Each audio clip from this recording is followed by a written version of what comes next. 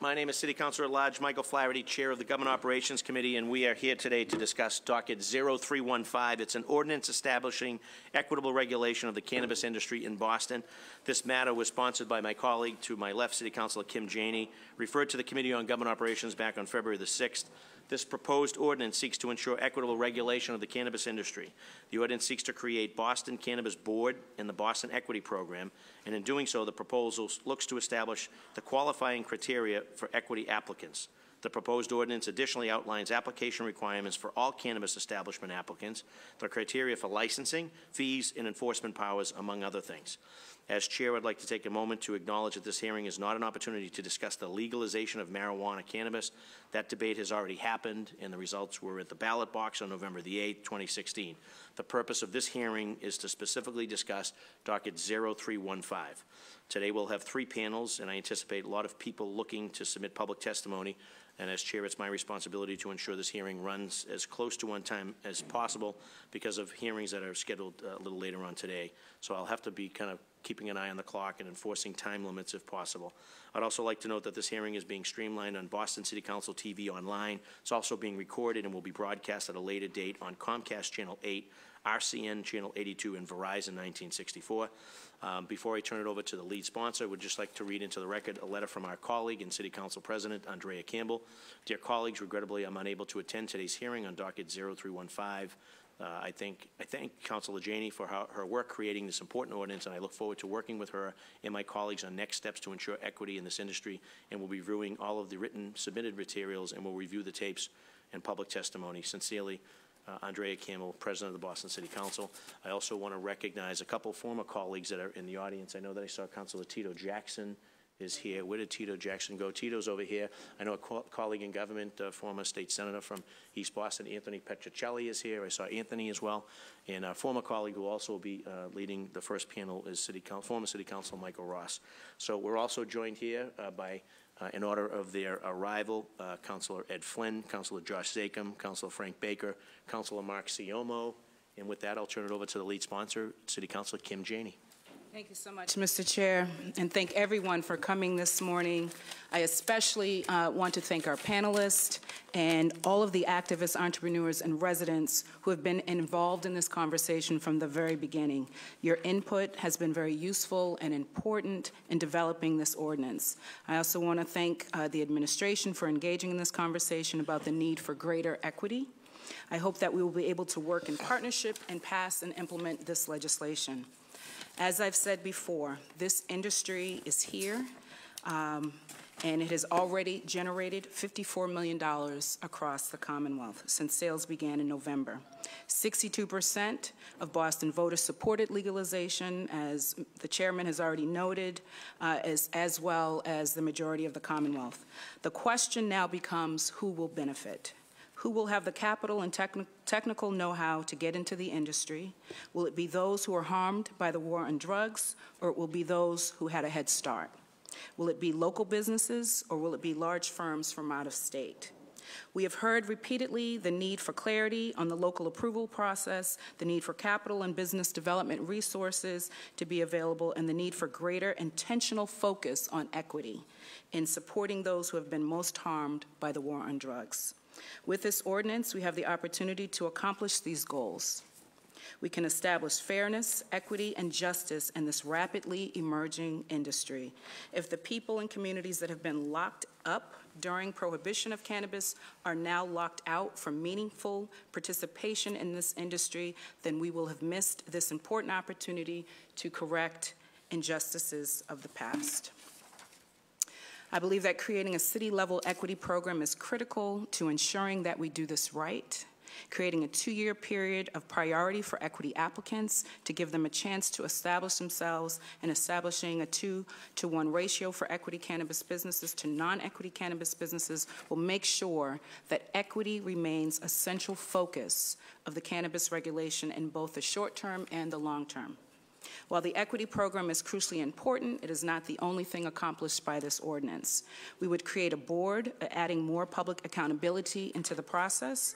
People with experience in public health, public safety, and economic development will be able to uh, take part in the board, as well as someone formerly incarcerated for cannabis use, to make sure that those closest to the pain are closest to the power, as our former colleague and esteemed Congresswoman says. This ordinance promotes transparency by officially setting out criteria for the review of applications by the board and creating a public registry to make sure that information about applicants and businesses is accessible to the public. To address the ban on federal funds and supporting anything related to cannabis, the ordinance would direct all fees and taxes collected to a specific fund to create the equity program, to pay the board for the board's operations, and for small business development in communities disproportionately impacted. In conclusion, this ordinance ensures equity, clarity, transparency, and accountability. Thank you again for being here, and I look forward to a productive hearing. Thank you very much, uh, Kim. Uh, Do my colleagues, any other colleagues have an opening? Uh, Councilor Flynn? Thank you, Mr. Chairman, and thank you to Councilor Janey for her leadership on this important issue.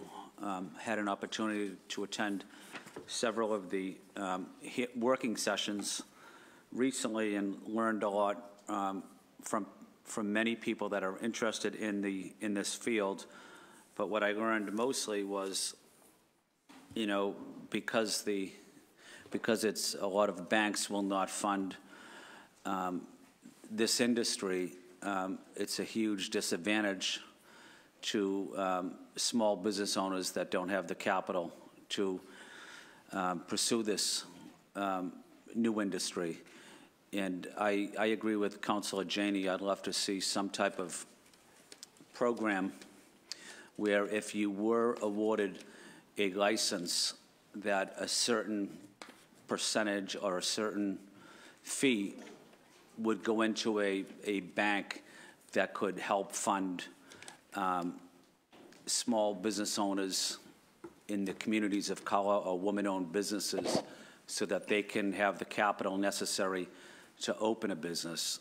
So I think it's almost a responsibility for people that do have a license to make sure that, you know, communities of color also benefit in this growing industry and women-owned businesses also are able to participate in this new industry as well. So that's what I'm, that's what I'm looking forward to hearing about is how, how we can make sure that capital is available to potentially women-owned businesses and um, businesses owned by those in the communities of color and veteran-owned businesses as well. So I'm looking forward to learning more about um, how we can do this. And uh, thank you, Mr. Chairman.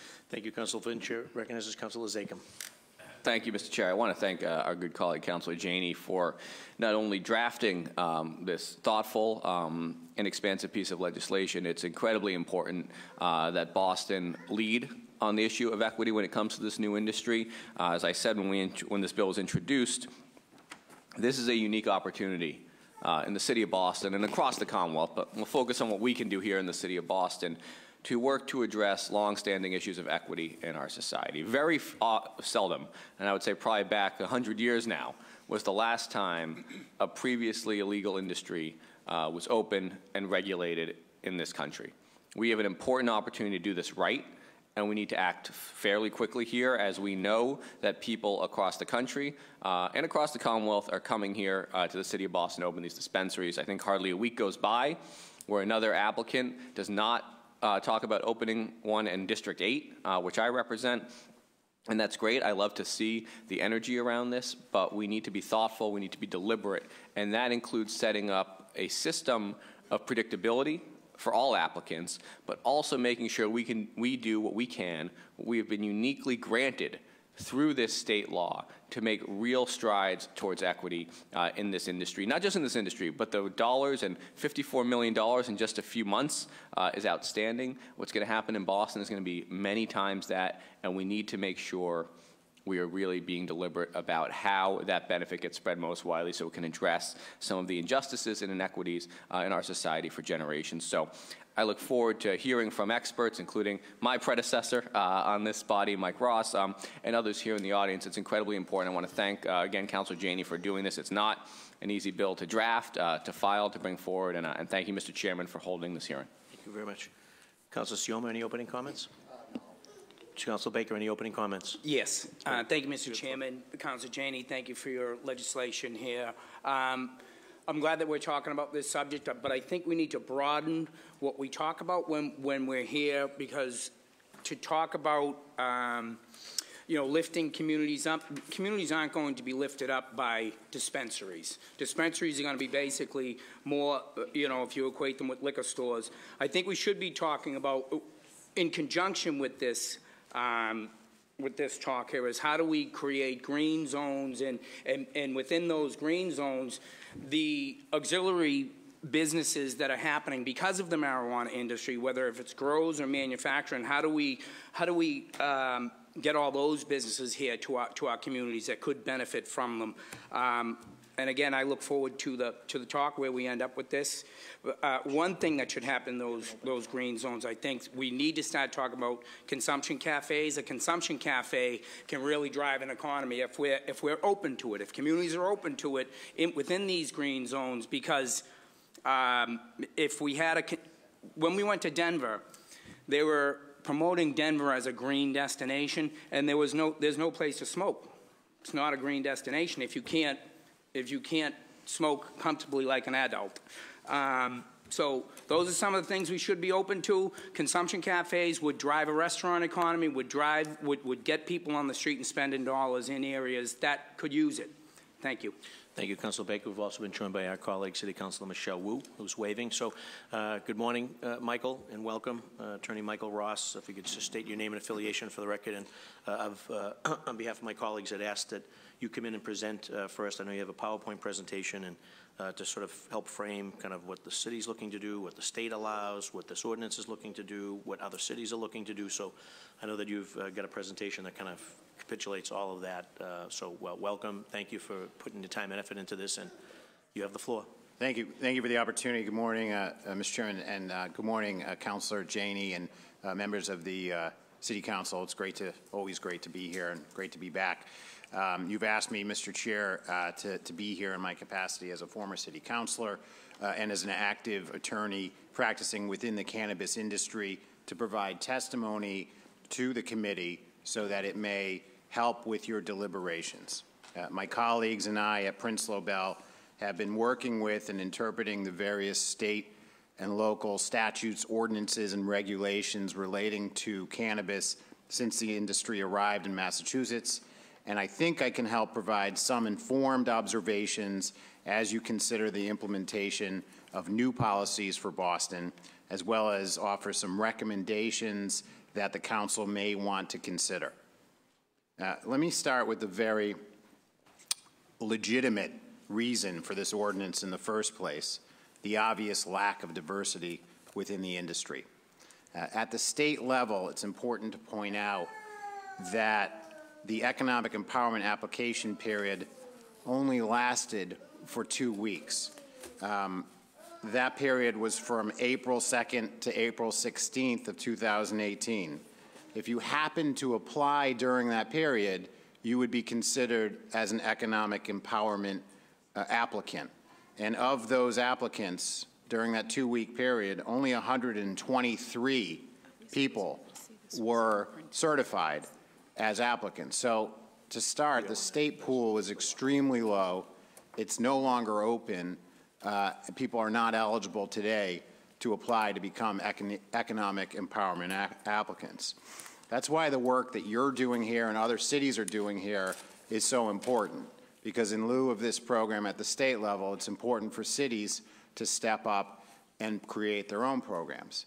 And cities have been stepping up to create their own programs. This is the city of Somerville's ordinance, which provides priority applications, applicants uh, access to the program in the event they are an economic empowerment applicant, but also in the event that they meet the criteria of an economic empowerment applicant because, of course, there's only those 123 people. So this is Somerville's ordinance. This is your ordinance right here. This is the criteria that you are um, basing applicants to be part of the um, Boston Equity Program. And in your flip charts, I don't have all the slides because uh, I put the relevant ones in there. I, I just, you can follow along the screen, but I also gave you uh, some printout of that. So what I did here is I compared the Boston equity uh, applicant criteria next to, that's on the left, on the right is the state criteria. The Boston criteria has choosing three of five criteria. The state criteria says choose three of six criteria. Now, some of these criteria line up uh, directly. So, for example, the majority ownership belonging to people who've lived uh, for in a dis- area of disproportionate impact, as well as obviously the majority impact of indi- individuals being black, African American, Hispanic, or Latino. Those come directly from the state ordinance, I mean, from the state uh, ec- economic empowerment uh, application, and they're on your proposed ordinance that's in front of you today. The other items come from a different state program called the Social Equity Program. This is a program that is in effect today. It provides assistance and fee relief and other benefits for economic empowerment applicants, and those criteria ha- have also um, uh, made their way into the criteria of the Boston, proposed Boston ordinance. And, you know, basically they are, in addition, is the uh, uh, household income below 400% of federal poverty level, and then a uh, person who's been convicted of possession or sale of trafficking in, in, in or of a marijuana uh, drug crime. And let me just point out that's a conviction, not an arrest. Then there are these remaining that I highlighted in green uh, items to the right that are still part of the uh, Cannabis Control Commission economic empowerment applicant criteria that did not make their way into the Boston uh, ordinance. And those are, uh, you know, that the majority ownership is comprised of people who've been service, serving the communities of disproportionate impact, that 51% of employees or subcontractors live in areas of disproportionate impact, that the employees or subcontractors have drug-related CORIs, and then another a catch-all uh, item right there as well. So my first recommendation to the council would be to consider whether or not you want to include any of these additional criteria that are in the state uh, legislation. Let me just unpack this issue of area of disproportionate impact. To find out what an area of disproportionate impact is, you go to the CCC's uh, website and it lists all these census tracts. And listed like this, it's almost impossible for you to appreciate what that looks like. And so over the weekend, I mapped these census tracts to a map for the city of Boston. And this is actually what it looks like. Um, you can see that this is the official areas of disproportionate impact uh, as identified by the CCC. But right away, you might notice some things here that, that don't make a lot of sense. Uh, first and foremost, there's the Harbor Islands, uh, the uh, Franklin Park, Mount Hope Cemetery, the Boston Common, the Public Garden, the Muddy River, uh, Harvard University Business School, and the highway over there. All of those areas have been included within this area of disproportionate impact. Now, clearly, that's probably not uh, an appropriate map. And so I just pulled them off that map. And let me just say, there's no one uh, more, uh, I think, prepared to handle identifying these areas than the people in this room, you, the city councilors, and uh, representatives of the mayor's office to identify this map. So I'd encourage you to think about this map and make sure you get it right uh, in the ordinance. You also might want to include uh, median income thresholds and take a look at areas that are below median income and include that within the map. Um, if I overlay those census tracts on top of the areas of median income, you'll find that there are a few areas that are actually in areas of above median income. Those three census tracts. I don't think you necessarily do or want that in there, so I just remove those right there. Uh, the purple represents areas below, the green represents areas above. So then there are areas of obvious um, that are well below areas of median income, and I identified them there. So, you know, in the end, the map that you come up with may very well look different than the current map that's on the, the, um, the state, um, the state um, website. So that's another recommendation is you may want to expand the map um, and, and, take a look at that. Um, there are, there's other criteria here that you might want to look at. Um, personally, I represent some um, uh, clients who are uh, coming out of uh, Dorchester, Vietnamese Dorchester, and, uh, Chi and Chinatown. Um, while not um, you know, necessarily uh, the target of the war on drugs here in Boston, um, you know, there may or may not be data that you want to look at. as how the Asian community and those communities were affected by the war on drugs. So you might want to consider uh, adding Asian uh, persons to that criteria. Um, here, this is um, the language of the ordinance includes the uh, grandfathering language so that if you had applied before February 1, you're not within this uh, ordinance. I think that's good public policy. You have to do that. It has to comply with law. I would just point out that there are the application process that exists today, the filing with the Office of Emerging Technologies, was not the application process that, exert, that existed for a number of applicants before that was put in place. Uh, for example, this is a, a letter from the Boston, city, the clerk, reflecting the City Council's vote on a letter of non-opposition. I would suggest that any letters of non-opposition that the City Council have issued should certainly be grandfathered by this ordinance and any, um, any other criteria to open, such as host community agreements or other necessary criteria to open, should be afforded to them. So that's another recommendation, grandfather the early applicants, especially those that were approved by this body. And to that matter, there's state legislation. I don't want to get into the weeds on this. This is Chapter 94G, Section 3A1I. And just basically what this says is that if someone was an existing medical operation in your community, uh, no ordinance can prevent that existing uh, medical operator from converting, unless for some reason they've made other uh, agreements to, to that. Uh, but by ordinance, it cannot prevent someone from making that conversion. So I would, I would recommend that this fully complies with state law, this ordinance. Um, this, and then, you know, as you always do in this body, you look at other cities and states for their, for their, for maybe some guidance. This is the um, Office of Cannabis from San Francisco. They have some things that are unique to their office. If you own at least 40% of the business uh, and are the CEO of the company, then uh, you're, you're eligible for the, for the equity application. Uh, you, the council might want to consider expanding those definitions. Also, they, um, they have people who are arrested, not just conviction, convicted. Sometimes people are arrested, they lose their homes, they get thrown out of schools, they get thrown out of their jobs. Sometimes being arrested can be uh, almost as bad as being convicted. Um, and so, you know, it's something that, that San Francisco has included in their ordinance. It's something you might want to look at. And then you have a lot of communities in Boston that have been gentrified. Um, San Francisco went all the way back to 1971 to look at those communities.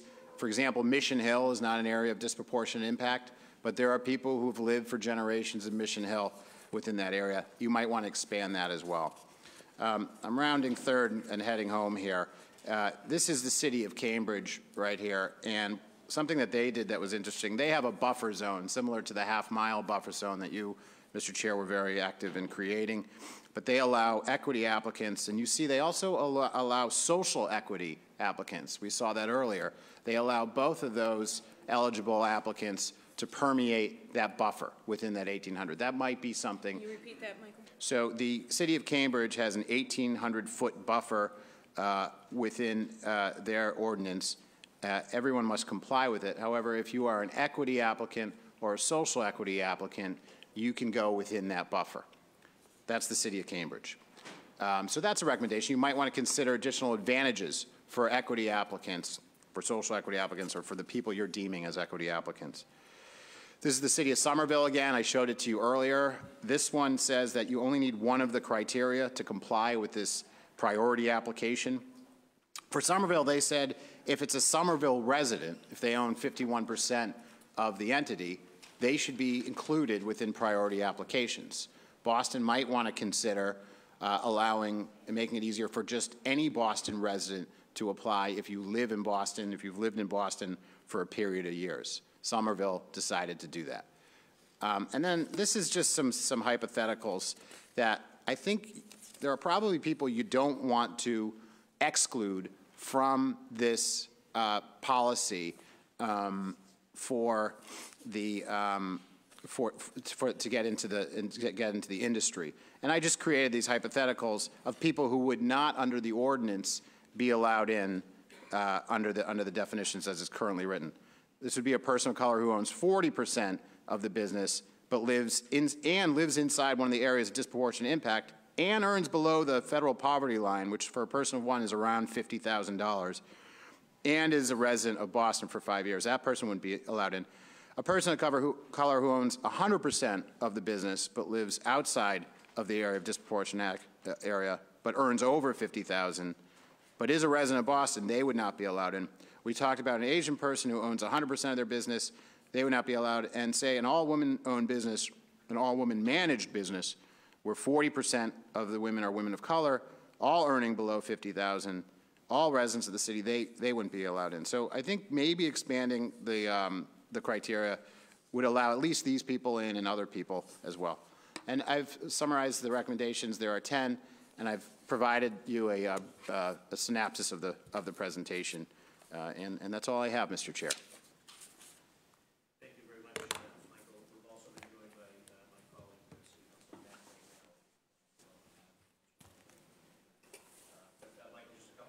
Sure. Throw it over to, to my colleagues. The criterion to be a Boston equity applicant is different than the criteria set forward, forward by the Cannabis Control Commission for Economic Empowerment. What are the pros and cons of creating different guidelines uh, within, within Boston?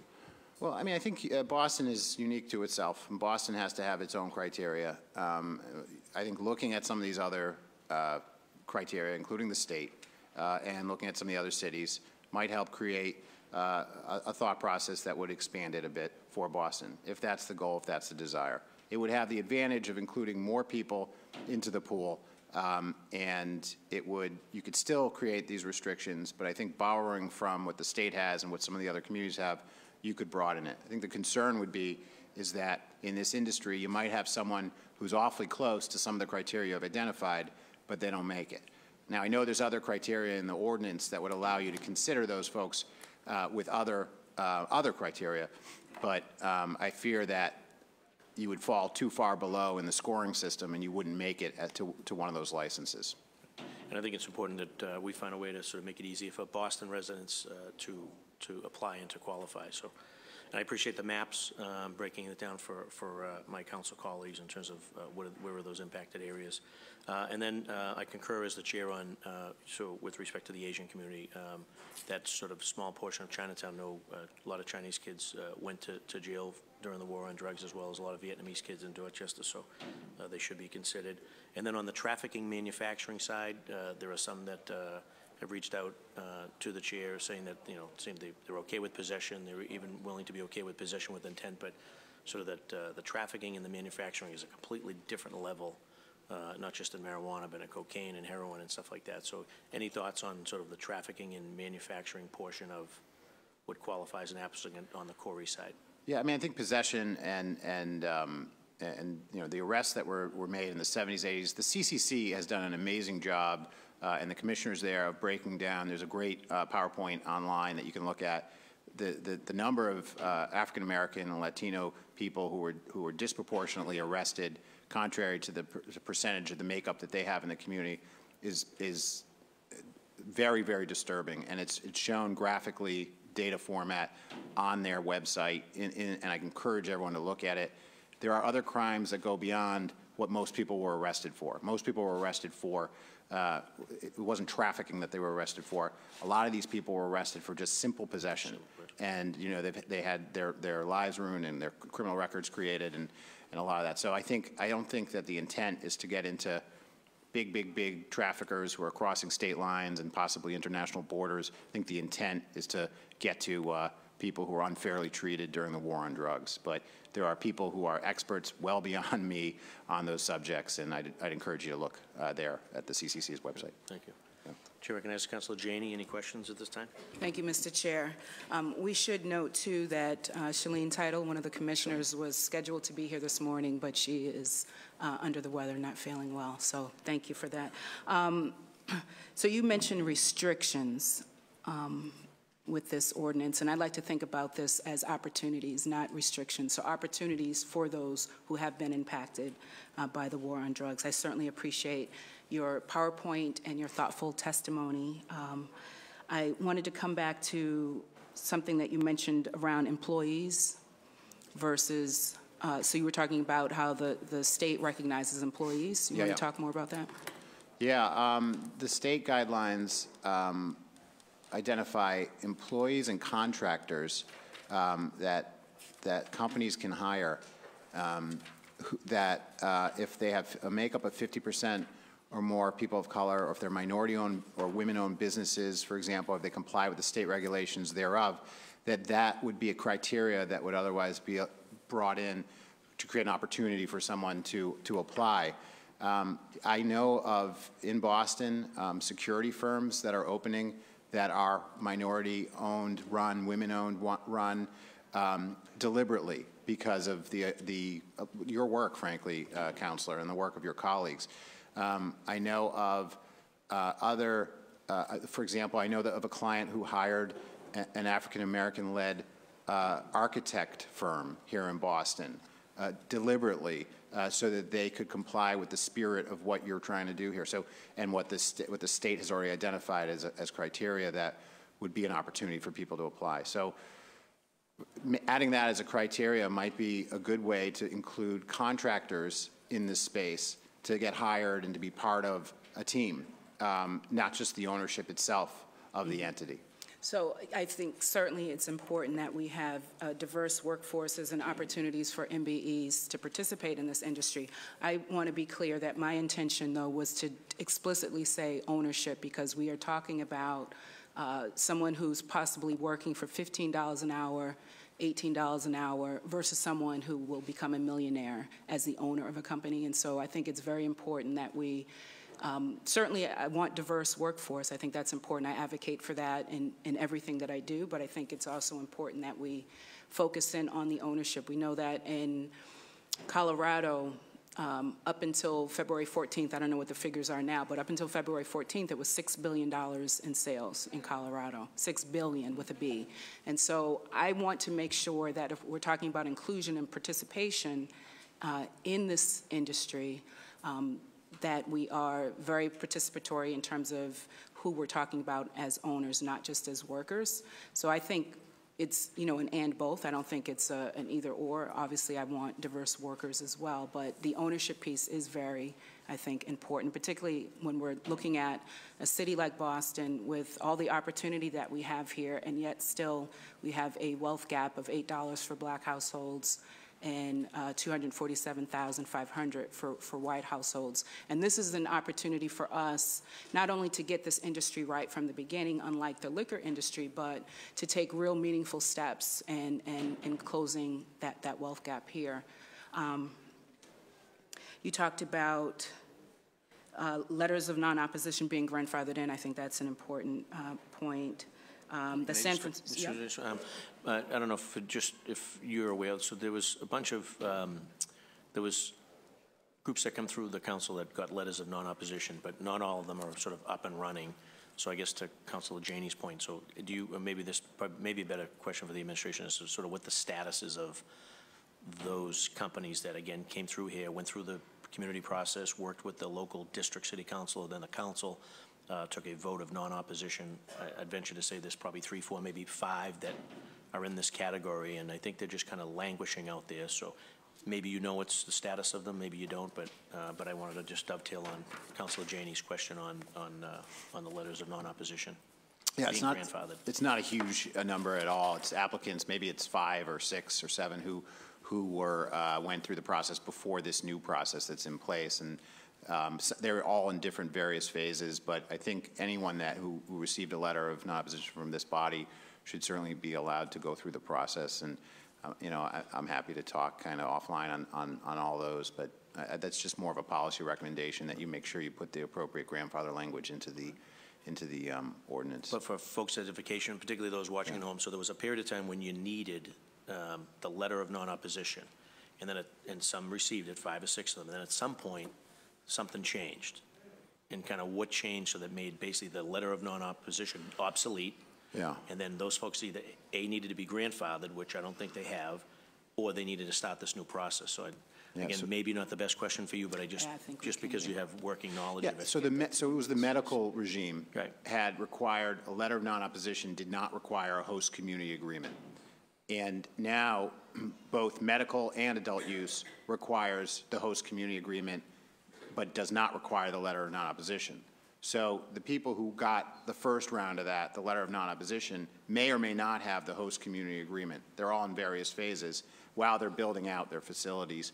And then, um, you know, so they're all, they need to, they need to be brought forward, I believe, uh, while they're in, they're in some form of a limbo, if you will. But I think they have legal rights to move forward, and uh, I would just think that being consistent with state law and just regular legal law, uh, that they have the right, that that gets included into your drafting of the ordinance. I would agree, and just a matter of basic fairness, if they've been in through that process, whether it's through in- investment or leases or contracts, I mean, there's, if they're being sort of held off to the side, then I think as a matter of basic fairness, we got to address those first, and then we can talk about other things, so, but thank you, um, So, Councilor Janey. yes. um, The other thing you mentioned that I thought was a, a very good point was expanding the definition of disproportionate impact. You had the maps. I noticed when we did our own analysis of the maps that, you know, the Boston Common was in there and, and areas in uh, Back Bay were in there and probably should not be in there. Um, Also, the buffer zone, 1,800 you said for Cambridge, but the equity applicants are exempt. I, I think that's important as well. So I appreciate that. Um, But I think that's it for me. I want to make sure that we thank you. have time. I can Thank you, come Councilor. Janey. Councilor Flynn, any initial questions of this panel? No, this time. Thank you. Councilor Zakim, no? Councilor Ciommo, any questions of Councilor Baker? More of, a- more of a statement on the point where, so, so I was heavily involved in a, in a, um, a medical operation coming, coming to my district, extensive, you know, through the, through the, uh, community groups. They actually won a vote, which I was shocked that they won, they, but they did win it, and we were, we, at that point, we negotiated a mitigation package for the neighborhood that would stay in the neighborhood.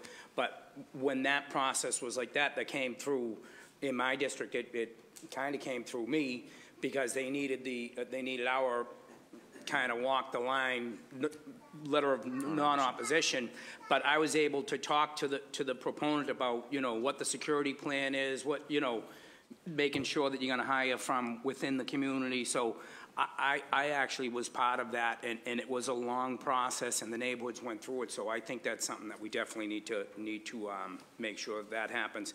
And so, uh, Where, where do we get, are we planning on coming up with the, um, and Mr. Chair, I don't, this is, I'm just throwing this out there, are we coming up with the tracks of, of how, how they will be, or are we gonna go by the state's tracks?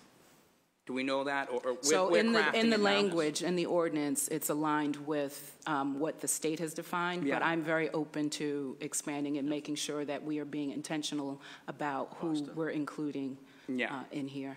And, and, and, Mr. Mr. Chair, through you, um, so are we looking, so all the applicants are, do all the applicants now have to fall within these guidelines? Is that what we're looking to do? Moving forward, Councilor Janey's ordinance would be the ordinance that would govern sort of city applications, city criteria. Right, but to be clear, anyone can apply. Mm-hmm. So this sets up criteria, not just for an equity program, Right. For but for, for anyone. So there'd be clear criteria on how we're judging applicants, whether you're an equity applicant or a non-equity applicant. Okay, okay. Um, It just prioritizes local businesses from communities that have been disproportionately impacted, which I do believe that this, that we can look at whether or not um, the state regulations are the appropriate way of defining the disproportionately impacted. Thank you. Okay, well- Versus some city definitions. Thank you. But the goal was to be aligned with what the state was saying. Thank you, Councilor. Thank you. Mr. Chair. Thank you, uh, Chair Egan. Any, uh, Co- Councilor Wu have any comments at this time? Councilor O'Malley, uh, welcome, and uh, you have the floor. Thank you, thank you, Mr. Chairman. I just actually wanted to uh, echo a a similar situation to the previous speaker. Um, We had a, we have a situation in West Roxbury where uh, a medicinal-only uh, operator went through a very, very lengthy, and it- I won't say contentious, because they, uh, they met with everyone, every uh, abutter, every community member, every civic association, even outside. They are caught in that limbo, as uh, former Councilor Ross had mentioned, and uh, I think that moving forward, it is vital that we um, honor some of those agreements that happened before, particularly as we have a situation now where a, a would-be competitor is looking at the same general vicinity, um, because the first group that has gone through the process has agreed to be medicinal only, um, has been caught in limbo. So I, I won't ask Councilor Ross to comment on this, but I think as we discuss conversations with the administration, is that as we begin our budget process, it is vital that we allocate resources for the Office of Emerging Industries to make sure that they have the support they need to move faster on many of these things. Um, one person or two people cannot be in charge of this brand-new industry. We need to make sure that the city is equipped to deal with that. Um, so look forward to that in the weeks and months ahead. Thank you, Mr. Councilor Chairman. O'Malley. And Chair concurs. Uh, So thank you, Michael, for your Thank time Mr. and Chair. attention and your talent and obviously helping us sort of focus on Thank these you. critical areas, so I appreciate that. Thank you for the opportunity. Good to see Thank you. Good to see you. If I may ask the administration panel to now come down, I know that uh, John Barros, who's the Chief of Economic Development, is also joined by our Chief of Civic Engagement and Neighborhood Services, that's Jerome Smith. So welcome to both of you gentlemen. Um, I understand that uh, Alexis is, uh, is si- is sick, so uh, her absence is excused, but uh, we have two very capable uh, administration officials in front of us, both the, uh, the director, the chief, both two chiefs. How do you like that? We got two chiefs with us today. So you have the floor, Chief Barros, uh, and it's good to see you. And, uh, and it's also important to note uh, for those, I know that we have se- several uh, alum uh, of BC High in here, so we had a big win the other night, uh, four overtime victory uh, at the Boston Garden for our BC High Eagles hockey team. So uh, always good to see you, Chief. Good morning. Thank you very much, uh, Chairman Flaherty, Councilor Janey, and other members of the council. Uh, uh, We appreciate the invitation to testify. Uh, Thank you, Councilor Janey, for your leadership on this ordinance on the issue of equity and inclusion in the cannabis industry here in the city of Boston. I am joined by Chief um, Smith, and the intro statement will be short so that we can get into the conversation because there's a lot to talk about. I want to say that uh, Mayor Walsh and all of us in his administration share your strong desire to ensure that this new emerging industry be used as an economic development, wealth creation, good job securing tool to lift the people of Boston up. In particular, we want to create a regulatory system that promotes upward mobility in those areas and for those individuals who have been negatively impacted by past cannabis-related policies and laws. We are committed to working with the council and the public on how to best utilize our existing resources and potential, potentially create new programs to support an inclusive and diverse cannabis industry in Boston. Today, we are simply here to continue our conversation, um, listen, and discuss how we together can create a thoughtful and impactful policy that achieves our mutual goal of ensuring that all Bostonians can benefit from the new economic opportunities being created. Thank you. Thank you. That's good. Uh, So obviously, welcome uh, to to both chiefs. Uh, Question, I guess, uh, which sort of, I guess, emanated from colleagues in the first panel with respect to those that have gone through the initial process and got the letter of non-opposition from the council.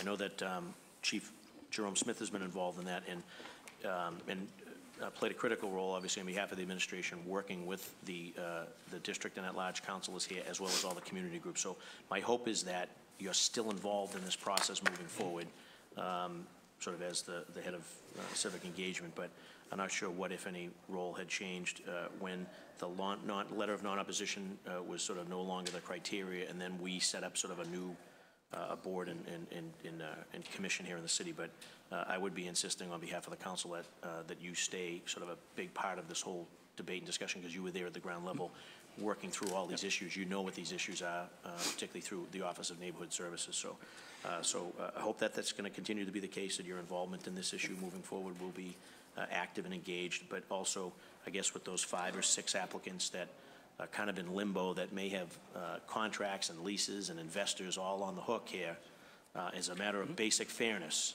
to those folks, uh, so that they don't lose their life savings and/or their investors, and/or be held accountable for, for leases that they've signed or contracts that they've signed.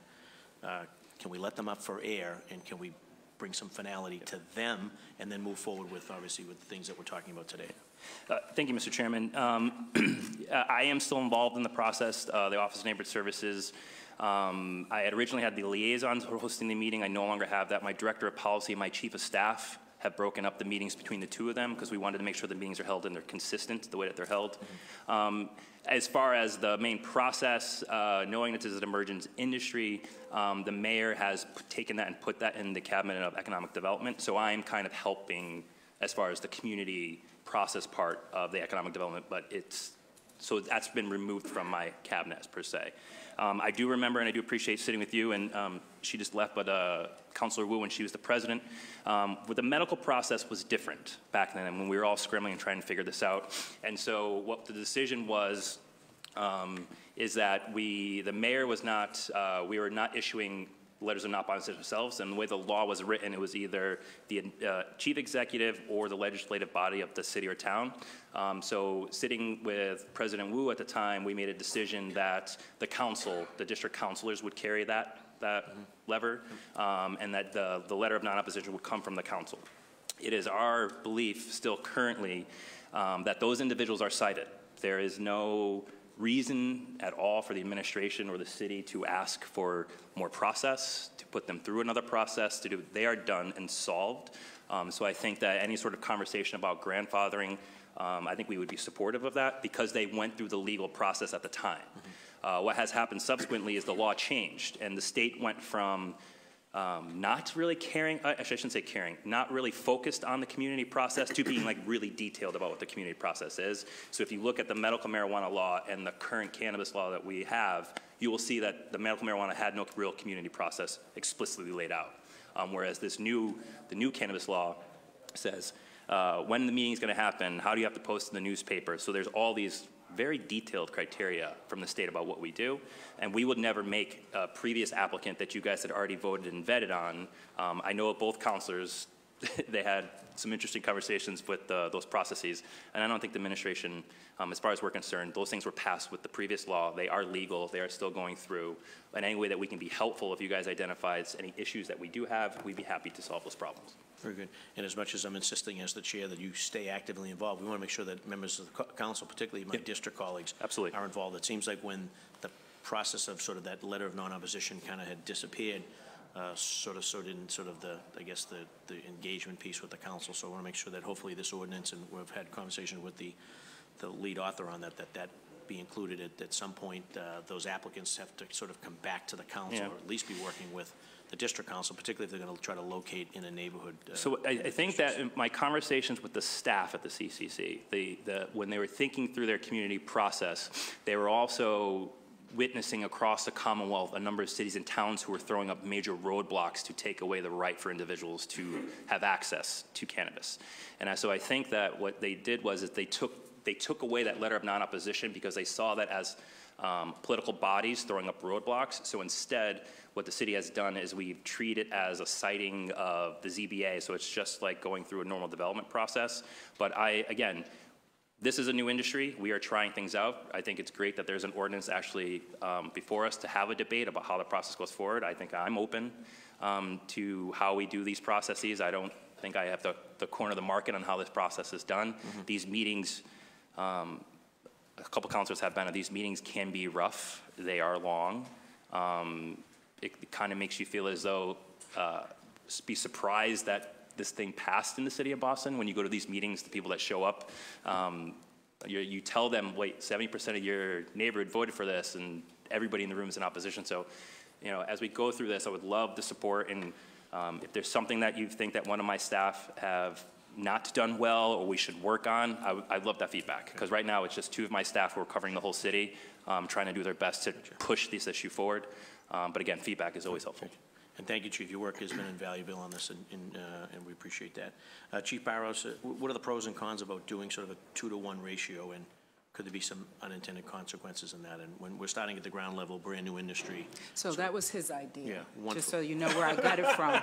Let's be very clear. At the December 4th hearing, you said two to one. Right? So, So, go so ahead. brand-new industry, sort of one-to-one is sort of, a- is an equitable formula, but sort of, uh, as Councilor Janey had referenced, maybe you. So as- alluded as to. Councilor So I Janey, guess what are- uh, What are the pros uh, and cons? I want to give you all the credit. I will, I will absolutely uh, take credit for wanting to make sure that there's in, in fact, uh, inclusion and diversity within the industry. I do believe that looking at the licenses and understanding the distribution of licenses is the way to go. I think we need to balance the growth of the industry with the licenses, and so this is something that I've said to Councilor Janey. I know there are pressures for us to um, not be in the way of economic development, and I think that that's right. But I think we also have to balance that with making sure people can participate. And so I think that's the balance we've got to find. And the more we've learned uh, about how hard it is, and I know you guys are going to hear from other people later, and what the, what the barriers are, we need to talk about how to remove those barriers so people can participate. So I, I continue to be in favor of having some deliberate and intentional approach to distribution of the licenses. Very good, thank you. Councilor Janey, any questions at this time? Uh, Yes, so I wanted to come back to the applicants that are kind of um, applied way back when, that Councilor Ross mentioned, that are kind of just stuck in limbo. How many are we talking about? I do not know. The, I, I, I think his number about get? five is probably about right. It wasn't, a lot of individuals didn't come forward for medical at the time, so it was like Patriot Care, there's one in Brighton that's looking to switch over, um, I think there's one on Newbury Street. It's, it's a very small handful, we can get you that Yeah, number. one in We- Dorchester. I We think, now yeah, have. I think five or six, We right? now have completed 11 community host agreements. Um, Of the 11, four completed community host agreements around medical are sited, completed, ZBA approved. Um, I believe two of them are open for business, um, and the others are, are, are, uh, you know, uh, gearing up for opening for business, but they have completed our process. Uh, We also have um, six completed host agreements. Uh, Of the completed host agreements, four have gone through the ZBA process, two have been scheduled. And so we are, we continue to move in that direction.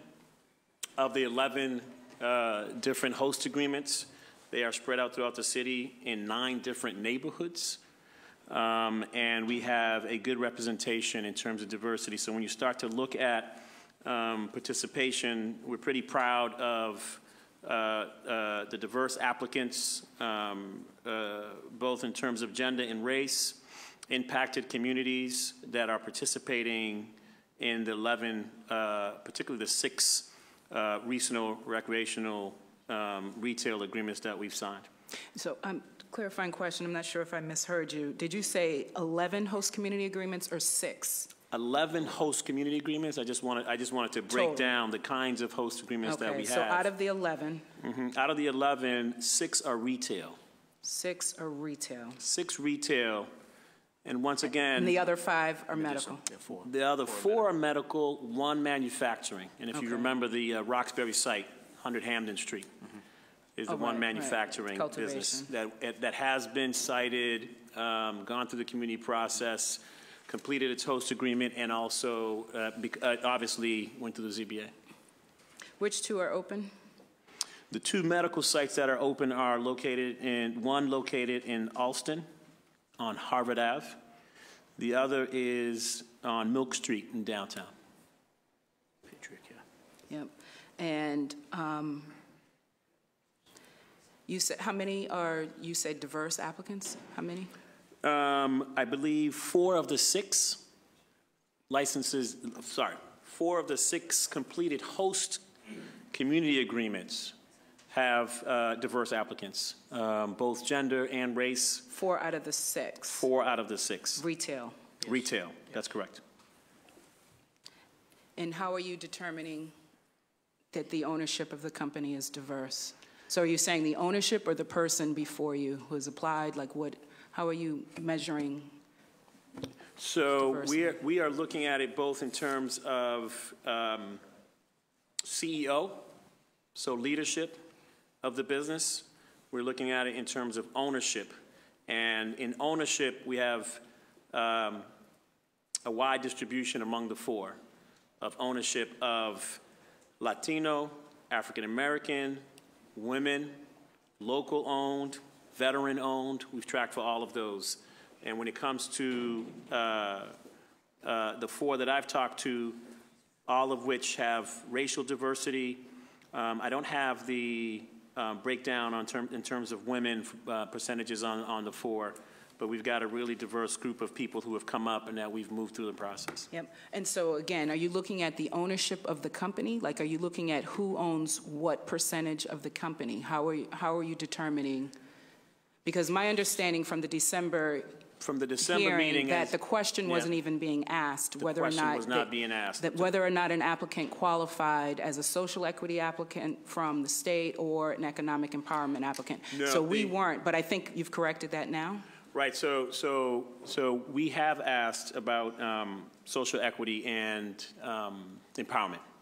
Uh, We were not asking in the application, but since that conversation, we did go in and find out who was who. Um, I don't have that breakdown for you today, but I will get you that breakdown. That would be great. Yep. I appreciate that. Um, And so how are you prioritizing equity in the application process? So equity, so we've been very clear as administration, we've been public, and and and in dialogue with everyone, we've said that equity is really important. We have allowed some of the people who are working um, uh, for their own business to talk to others who are working to start up their businesses in hopes of creating relationships. We've created, we've, we've, we've allowed them to contact each other or have encouraged it, and some of the relationships have come that way. Other relationships have come because people have relationships and they've talked to people and brought them in. But um, almost anyone, and I want to say everyone who has come before us who has a recreational retail license, um, host agreement today has some level of participation. Um, I've got to get you those percentages, uh, but four we're going to represent today to you as being uh, diverse applicants that we can put in front of you. I think meeting, um, you know, general general understanding of uh, either empowerment and or equity license holders. Um, How much revenue, and I don't know if you'll have the answer to this, do you anticipate that we'll be able to generate through this industry in terms of tax, the 3% tax? Do you have an estimate? We do not have estimates at this point. As you know, this is a fast-growing industry, uh, but we do not have revenue. Uh, Now, here's, here, some of the challenge is, in fact, that um, um, most of the revenue will be generated through uh, sales tax. And as you know, Boston does not collect sales tax, and so we want to put that into um, um, the, the- context of talking about tax generation for the city. We do capture a 3% um, on this, but um, the overwhelming percentage, the overwhelming percentage of revenue that is going to be captured by uh, government will go to the state. No, I know, but the, the revenue that we do capture, I think it's important to anticipate what we hope to bring in and then how we'll use that. I, my ordinance calls for reinvesting that Yes. into communities that have been disproportionately impacted to support small business development. There's a lot of support and help that many folks uh, need to really make sure we have an inclusive economy. I'd like to switch to the community side. I've been to um, a community meeting um, that I felt, uh, so as people have already mentioned, you mentioned that the meetings can go long, that people tend to be frustrated and angry. Um, And I think at a number of things. One, I think uh, some folks want to turn back the clock and, and don't want to see this move forward uh, in their community. I think the other thing, though, is really the lack of information and understanding, not just about the industry and the opportunity here, but um, that it is in fact here, whether, and I believe the number from December was 51 uh, businesses that will open. Floor. And So, a uh, floor. By, by state law, it's 20% of Right. the total number Right. of retail. And I believe that number was 51 I when we believe do it the. might be 52, yeah. 52, 51, that there is going to be 50, over 50 minimum. So I don't think people know and understand that. I think it would be helpful to do some framing. I know you've said um, important that people understand how that particular census tract voted in that community, um, that people understand it's going to be 51, 52 minimum, not the, the max, but the minimum. Um, and I think then the question for for residents uh, who have questions or concerns is really who then do we want to partner with? Who will work with us around a good community benefits package? Who can we support in terms of, you know, the local kid who grew up in this community? Um, and the meeting that I attended did not do that framing. It was just kind of here's who I am from ONS, and here are the people who want to, you know, bring in a a cannabis business to your community. And so I think it just got off to a, a- a bad start. So I think there's more that we can do um, in terms of educating people about, you know, the need to create an inclusive economy, the, the fact that it is here, whether we're talking about legal cannabis or illegal cannabis, and the more that um, legal stores are prohibited from opening, the more that the illegal market will continue to thrive. And so, to the extent that people are really concerned about um, children getting access to marijuana, important to make sure that there are stores, legal stores available who will have the safeguards in place and the security in place to ensure that it won't get into the hands of, of children. Um, but in the legal market, anything can happen. Somebody can lace your drugs with something, you know, your, um, the cannabis with some sort of drug on top of it, which can be deadly, uh, very dangerous, um, or it can get into the hands of children. I don't think any of us want to see that. Um, so, any suggestions moving forward about how we can improve the, the, the process in terms of the community, I think would be helpful. And I, I think the need for more education um, around what the city is doing, more just understanding about um, this industry and the opportunities that are available. Any So- thoughts? We, we have had conversations internally um, within my department about having more uh, conversations with residents separate of applicants. Uh, I do not believe that it's fair for an applicant who is just trying to start a business to have to move the mentality of a entire community in in two-hour period. Um, I believe that um, as a city, we should be providing opportunities for residents to come to forums, open houses, and have discussions. Uh, we did it in Dorchester. Um, we've done it in Nope, we did it in Dorchester, and we had the CCC come out um, and talk with residents. Residents had the opportunity to ask what type of questions should we be asking of applicants. It gets into your point about safety, you know, how does the product move in and out of your business, all these things. And so it was a interesting experience that we actually had the CCC and the city there, and the residents were able to say, what should I be asking, right? Because residents are already comfortable of talking about if you're a restaurant, what are your hours of operation? Where's your exhaust fence going? Where the, so they, they in their in in the mindset, they are clearly know what, what to questions to ask. I think that what happens now in these community meetings is there is a group of individuals, not all, but a group of individuals who come in who, like you said, want to fight the law and think that we need to turn back the clock. Um, and I think that when that group kind of goes off, that person in the room who actually wants to have the more thoughtful process questions gets kind of shouted down. And so I think that we have to do a better job um, of explaining to residents what it is that they should, they should get from this applicant. What are, your, what are your security? What are your hours of operation? Who are you employing? What are your delivery schedules? Where are you dropping off your deliveries? Are these out front or is there a place? So there are just natural things that residents are used to asking for other businesses that they haven't applied to this business yet. And I think having more of those conversations would be great. I'd be happy to partner um, with any of the councilors, district councilors, at-large councilors, if you guys want to do forums on these types of conversations. Um, you guys have networks, we have networks, and I think between our networks, we could drive a lot of residents to these open houses to have these conversations. And I think that the more that we get people comfortable with the idea that this is a legal business in the city, I think you'll see the temperature kind of lower in some of these community meetings. Thank you, I appreciate that.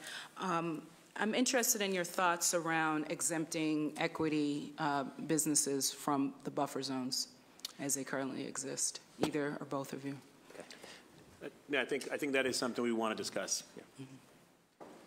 That's something I'll challenge you guys on, just because I think the buffer has led to um, sort of the diversification uh, as uh, Which is- Chief, Chief um, um, Jerome, I'm Yeah, it's uh, a- Jerome it- Smith, uh, uh, of the, of the first round of applicants, it's, it's fairly spread out across the city, so sort of no Yeah. one, no one neighborhood is kind of that feeding frenzy ground, if you Yeah, I, th- I think it's something we want to discuss, Councilor, but I, I don't think it's something that we're saying today is automatic. Right, but I think we need There's to got to be a thoughtful Yeah, so if, the- if the threshold to Council Janey's initial question was it's 20% of the, for those at home, it's 20% of the liquor stores, correct? Because you had mentioned retail. Retail- This does retail not- alcohol yeah, stores, This yeah. does not apply to any of the new licenses that we're talking about potentially Right. creating uh, in the city. But, so that's a threshold of around 51, 52-ish, right? Yep.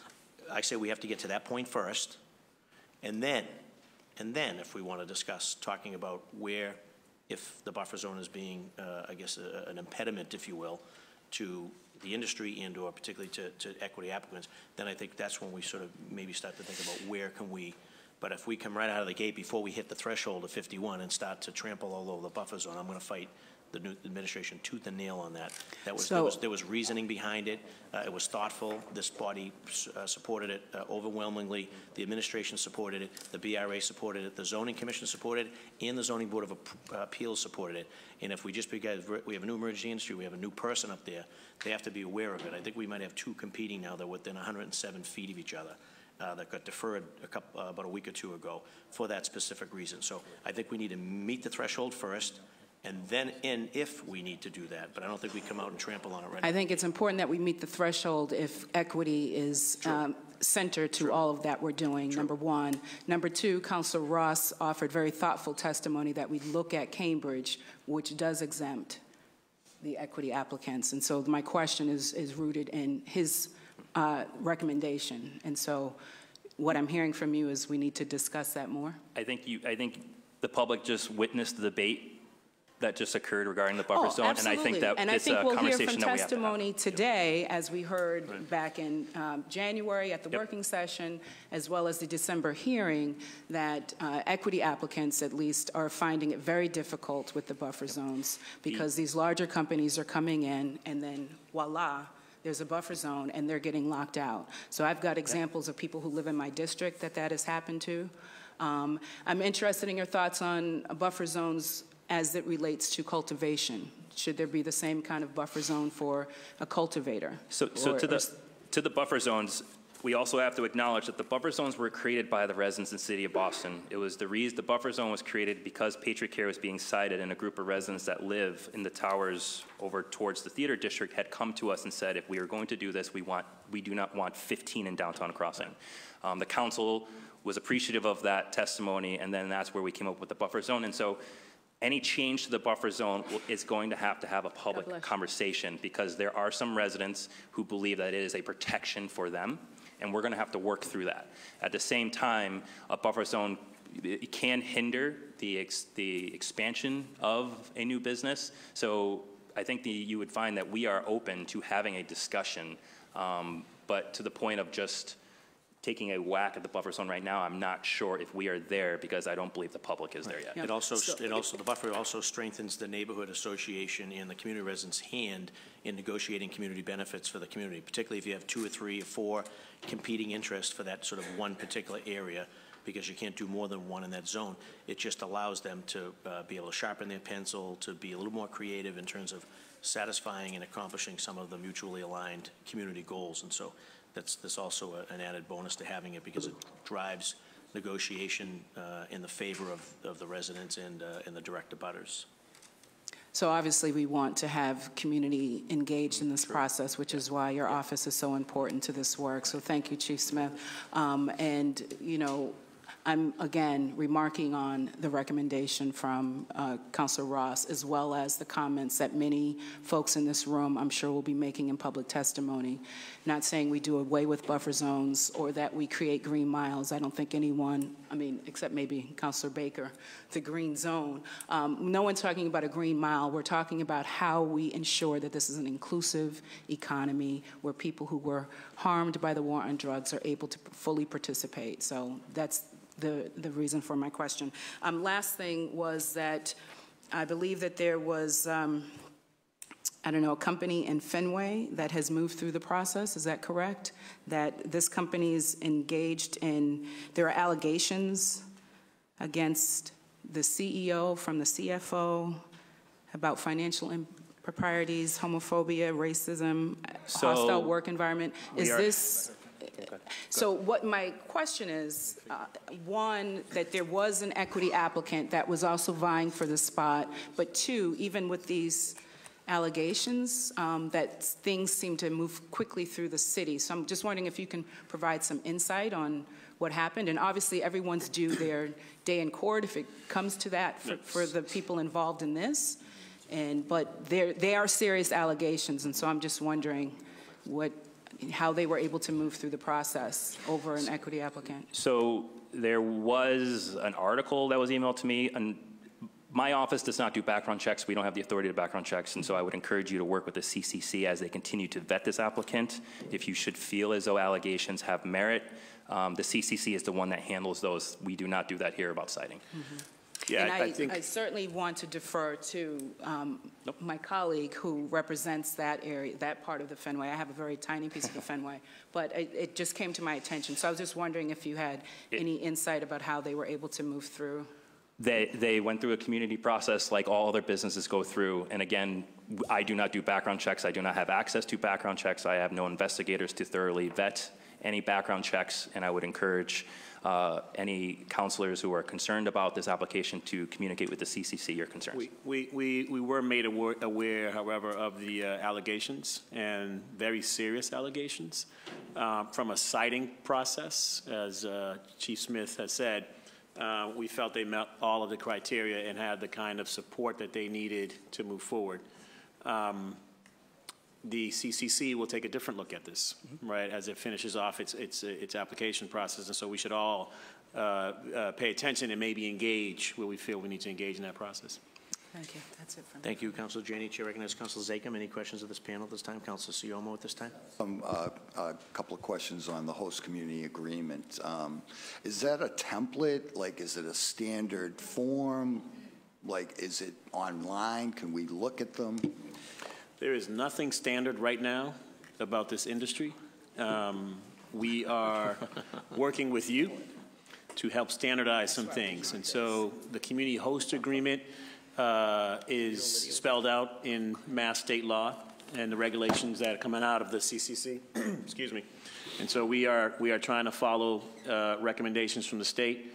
We have also added um, components to the host agreement based on conversations we've had here and have, because of the conversations and the leadership of the council, have been able to be very explicit on certain things. We uh, expect that this conversation here, this ordinance, will continue to inform the community host agreements. So I just want to be very clear to the public that there is no, there is no template on this right now. Uh, We are developing it here, and the conversation and the work we do with you will continue to inform it. So, but we have four of, I'm sorry, how many host community agreements again? We have 11 uh, So- completed host agreements. They are all posted online, Councilor. They are online, Yes. that's what I, Yes, that's, that's very think- important. They are all um, made public. I public. think that is important uh, for transparency's sake, that, you know, everybody, a- and again, it it should almost be standard, I would think. I mean, uh, part of it is uh, how much we can tax them. So, uh, so the, some, some basic things, uh, s- the- some standardization of the community host agreements are hours of operation, um, and things like natural business processes and the 3%. So the council, uh, the mayor filed with the council, and the council supported and voted for the 3% automatic. So that is what we automatically get in. The whole community host agreements, all of them will add an additional 3%. So that is a standardized, we're not going to Right. do, you get 1%, you give us 3%. Everybody is doing an additional 3% on top of what the council had passed in an ordinance and hours operation. So those are kind of some of the standardized parts. Um, But then, uh, a- as the chief says, as we're going through the process, sometimes residents are asking for other things. And so you'll see some variation in the community host agreements based on some of those community support. What we have not been doing is, uh, if a business says that I will give 10 grand to the Boys and Girls Club, we're not putting that in a community host agreement. That should be a separate MOU that is negotiated between the business owner and the Boys and Girls Club, or however not, that will not be put into a community host agreement. We're keeping it purely at things the city can enforce. Um, And, and just one more thing, uh, qualifying to engage in a community host agreement, you have to get ZBA approval first, correct? Community host agreements are signed before you get a ZBA date. Okay. So then what happens if they get rejected by the ZBA? Does that just dissolve? or- Yes. Okay. W- w- I'm just curious, why would you go through that step before you get ZBA approval? It seems kind of like uh, wasted time almost. We, we, we want, we want the applicant, we want the applicants to be able to appear before the ZBA with everything at, everything together, bounded together, to go before the board, the board stamps it, and then they are done and do not have to engage with the city again, and they are off working on the state. CCC. Yes. Right, for li- licensing and approval. Most of these things happen at the same time. It's not community meeting, then sit down and negotiate. Gotcha. It's, they're all happening sequentially. The way that we view it is, is the final vote of the city is the zoning board of appeals. That whole package is put together. You've negotiated everything you had to do behind the scenes. That final vote is done. Applicant takes that vote, recorded vote, and goes to the state, and they're off. All right, thank you, Mr. Chair. Thank you, Councilor Baker. Chair, um, so the, the three percent is, is standard. Is that three percent of gross or net? I would, we I believe it's three percent of gross, but I'll check. Okay. A- And that, and that goes, that three percent goes where? To the city, to the, The general fund. to the general fund? And so then how does that trickle back to the neighborhood? Just general fund, whatever, roads, bridges, cops? Okay, so, so in, in that, in that host agreement, then the, the, the neighborhood has to have a separate parallel one, Jerome?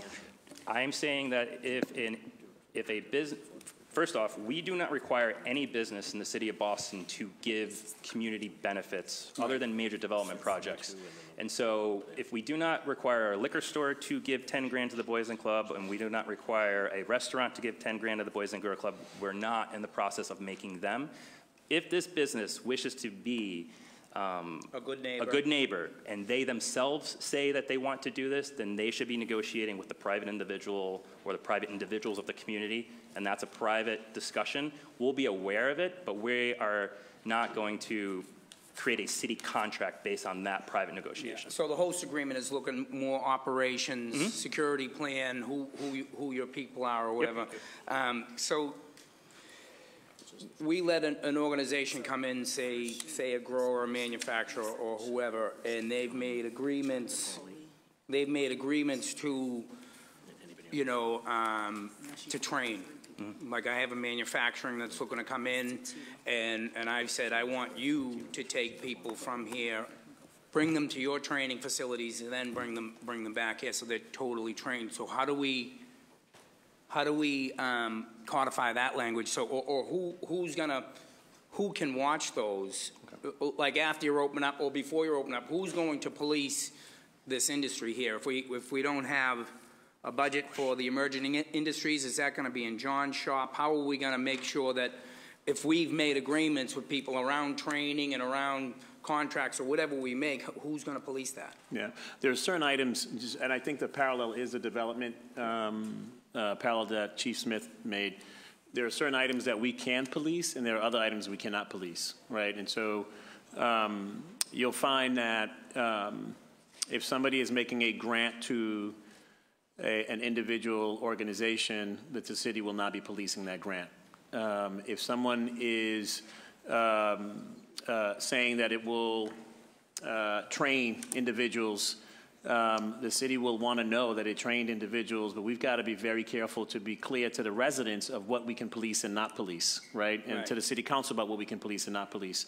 And so I think that on a, on a, on a one-off basis, uh, councilor and all the, council, the district councilors here and, and, and councilors in general, as we agree to different things, we should probably have a conversation of what the, the city can police and not police so that everyone's clear about the agreements and what you can expect from your city administration and what you can get back from us because it's a really, it's a really dicey area about what we have authority to police and not have authority to police. So, so with that point, I think, I think we, as district city councils, need to be, need to be more involved, because we could potentially police that. That would, so, so the group that I'm dealing with, that's on me to police them with, with your shop, I think. So, uh, the concern that I have is when we went through the, the process and they had to come in front of the city, they, they had to deal with, with me in, in the neighborhood to make sure that they were, were- were responses, responsive. I'm afraid that, like, as we get away from us district councilors having, having more input here. I, I think that we could be your police and help you, because to get to equity and to get to a point where, where everybody feels okay about this business, we have to first allow some of them to open up, so the panic, you know, people will see that the, the world will not collapse when this business is up and running. We have to get some of them open up, but also, we have to make sure that the people that are coming in and making promises are actually held accountable on that. So, so that's something I think that maybe we should be working on how we do that, and- and I don't know if it happens within this here. Um, So maybe if you can speak to that a bit. So, so Council, first I want to agree with you, and, and I think I want to make clear something that Chief Smith already, already said, uh, but maybe make it clear that when we moved from the medical marijuana process to the recreational, manufacturing, et cetera, that state regulations change, not city regulations. yeah, Right, and I- yeah. I just want to make that really No, clear. I, I know that, and I'm, and I'm just making my stink about it here because the state Right. changed and, City posture has not changed on Yeah. this. Right, so city, city, so the mayor, and I think Jerome de- detailed this, agreed with the, with the city council president at the time that the council will be formally engaged versus the mayor writing that letter, right? And that spirit still exists. We want the council to still be engaged, engaged with what's happening in your area. And I will tell you, um, we have and will continue to direct all applicants to talk to their representatives on the city council. It is really important to us, will continue to be important. We encourage you guys to continue to be part of this conversation. And let's make sure that we continue to, whether, whether, before we have the ordinance, after the ordinance, it needs to be clear that the city council needs to be engaged in well, this I I would hope so. There was one meeting that happened that I found out about literally two hours before it happened. And we That was a apologize community for that. meeting, and, and, and I had gone through a process of, of vetting, you know, I, not that I ran the process, but I directed them where to go and who they need to speak with and who they need to make comfortable in their, ne- in their neighborhood. And so I, I just, the city council needs to be involved in this. We're closest to it, so that, that'd be one thing. And can we talk about the buffer zones a little bit? So if I were a city councilor and there was, there was an, a, a group coming in looking to do, looking to whatever they want to do, a dispensary or whatever, and, and, and it was within that buffer zone, is it correct that as a district city councilor, I could, I could, you know, write a letter, write a letter or go to zoning and say, you know, would like, would it be like a, a zoning relief sort of thing? So any applicant, uh, so about the buffer zone, so the public has a better understanding what the buffer zone is, any applicant can go before the zoning board of appeals and seek a variance. So, that, so as much as we have the buffer zone and we are standing by the buffer zone, an applicant can petition the ZBA and the ZBA can grant them relief. Yeah. And so there is a there is a way legally that applicants can be within the buffer zone of each other. Yeah, because, because for me, um, growing up in Dorchester, y- you know, in, in my neighborhood, I've got seven liquor stores within, you know, less than a mile. So for now, if you wanted multiple, multiple operations in your district, I think that would be on you to, to support that. I personally want to have, a- I don't have a problem having a couple of them, but I don't want to have 10, 15, 20 of them, and then downtown gets one. You know, we, we run the risk, you, me, and whoever, whoever else is the district city council that, that, that, you know, was closest to the city. We run the risk of having this whole industry in our, in our, in our district and in 10 or 15 years saying, how did all these weed shops get here? So I think we have to be careful with the, with the zoning. Uh, and, and back on the, John, if you think about the umbrella licenses, you, you know what we, we did with that, or kind of what we were trying to, trying to do with that. Same sort of thing, same sort of thing. Bring the industry into a, into a new development, you know. We talk about technology. This is going to be, this is a growing new industry. So that green zone wouldn't have 15 dispensaries, or it's going to have a grow, a consumption cafe, um, you know, let the whole industry play out someplace, and then you really can, can, can drive the local business because the, the um, people that are in those auxiliary businesses, I think, are going to want to be near where the business is. So when I say green zone, I don't mean dump, dump all the yeah. dispensaries here. Let's think about it holistically. How do we get at the whole business here? Because it's a billion-dollar business, and, and what we see is just the front end of it. You know, Yeah. what's, what's all behind it? How do we, you as a chief of economic, how do you think about this thoughtfully and bring all the industry here, not, not just, not just the back end of it, the back side of it? You know, we want, or the front side, whatever way you look at it.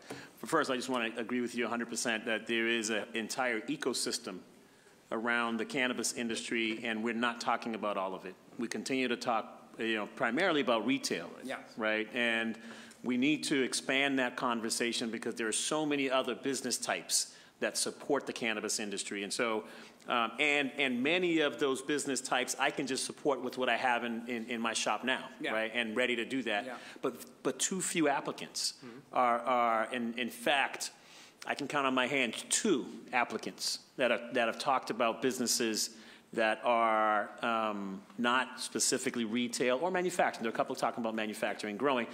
Um, and of those applicants, both said to me, but I'll get back to after my retail shop is open, right? That, that kind of a conversation. And so I Well, if urge we- people. If we, if we, you flip that and say, well, why don't you, why don't you, why don't you manufacture and why don't you do grow? Grow could be cost prohibitive here, but, but we could also connect on to other towns that have, that have, you know, Braintree Yeah. has, has warehouse space and they don't know what to do with. Yeah. In, in, in Denver, you can't find any warehouse space anymore. It's just, it's cost prohibitive. So I think if, I think if we're directing, doing a better job at directing them and making sure that they're, that they're bringing people in, bringing people in. A- And with that question, what do you need to enter into the marijuana industry, whether it's a grow, a like in, in Denver, you need to be licensed, and there's different tiers of license. To be a bud tender, you're, you're lower end, but then as you go up the manufacturing, some of that manufacturing could be eighty, a hundred thousand dollars, and it's all hands-on. So, like, like, what are we doing there? Do we need, should we be setting up training programs? Do we need, do we need uh, licensing to, to, to, to do that? Maybe that's something we should be doing, Jerome, like having job fairs and, and connecting people on to, to the training. Uh, Councilor, I would say that I'm, uh, uh, when you had- did your opening statement before we started, I was actually very excited that you brought it up because um, very few, you, very few local officials are, are talking about this. And I think, you know, all the meetings that I've gone to so far, everybody's just focused purely on the retail license. But there are some individuals in this town who are bakers who maybe just want to open up a bakery and there's, or they want to open up the security shop or they want to get a fleet, a couple cars and do Yeah. delivery.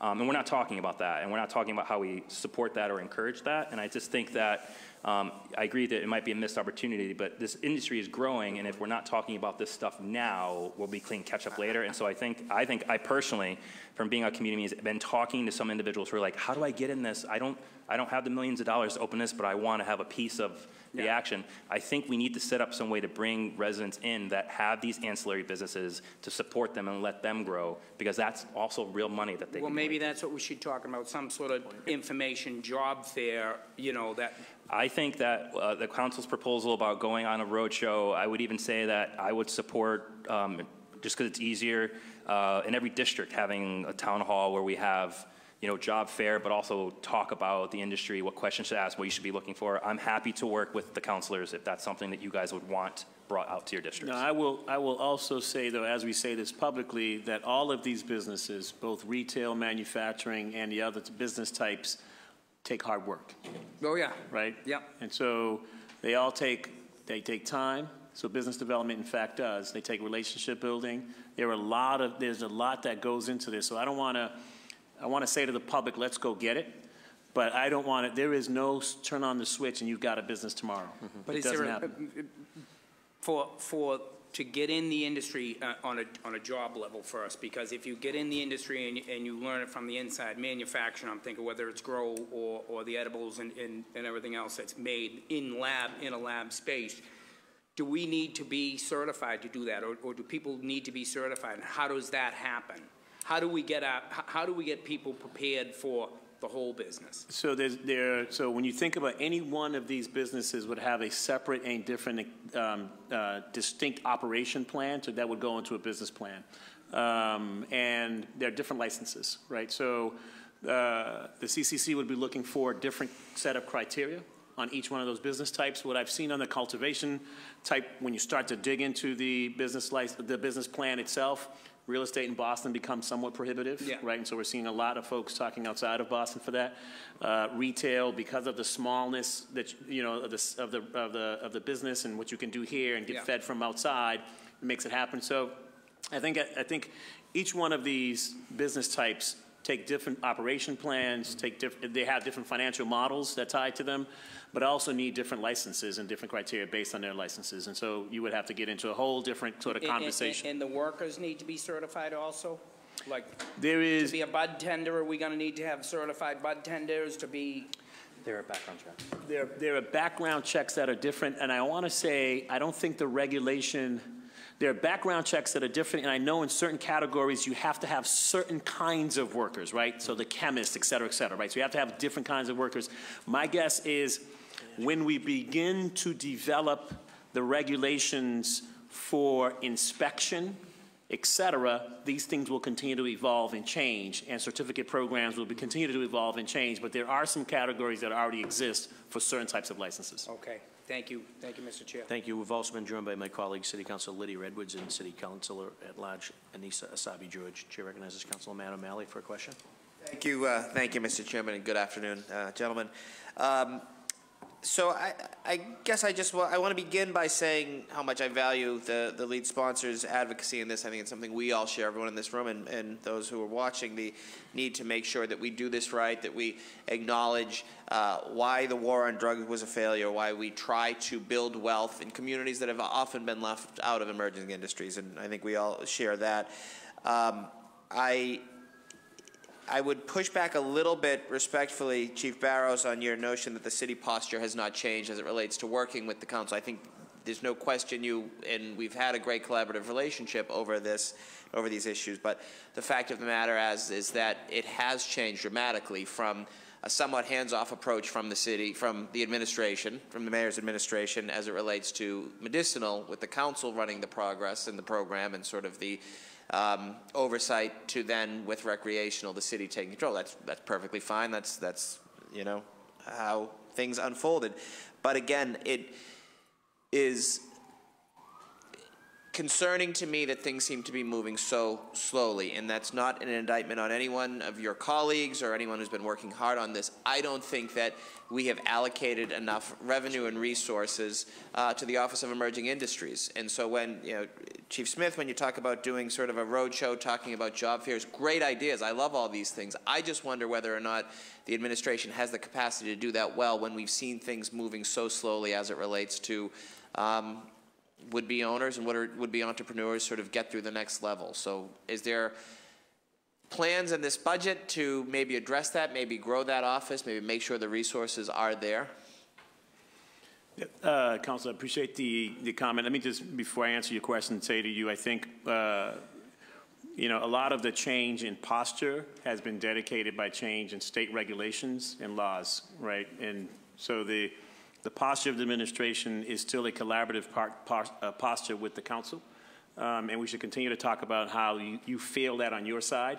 But I do want to, I do want to recognize, in fact, that from medicinal to recreational, that the state regulations changed, all right? And so driven by and documented through the host agreement, No question. so, but, but so we're, so, so the posture at least, and I'm representing the mayor and saying this, we want to work with you guys uh, to figure out how the siting happens and where in your districts uh, and throughout the city uh, these sites, these sites. No question about that. And I, you know, Marty Walsh is one of the most collaborative people in government I've ever encountered in my entire life. I mean that sincerely. He's always looking to bring people together to find that common ground, particularly with this body. But I, and I appreciate your point. I don't need to belabor the point other than to say it has two completely different processes from our point of view. And I just want to ours. return to, so when you talk about sort of the 11 host community agreements, six retail, four medicinal, one manufacturing, of those four medicinal, is one of those included the West Roxbury location, the Beacon Compassions? Um, no. So I think they're waiting on their host community agreement. Is that correct? Um, I would have to get a status update on them. Okay. Well, I mean, again, I don't want to focus on one, pro- one uh, company or operator, other than the fact that this is a, this was one of the first ones that came to me.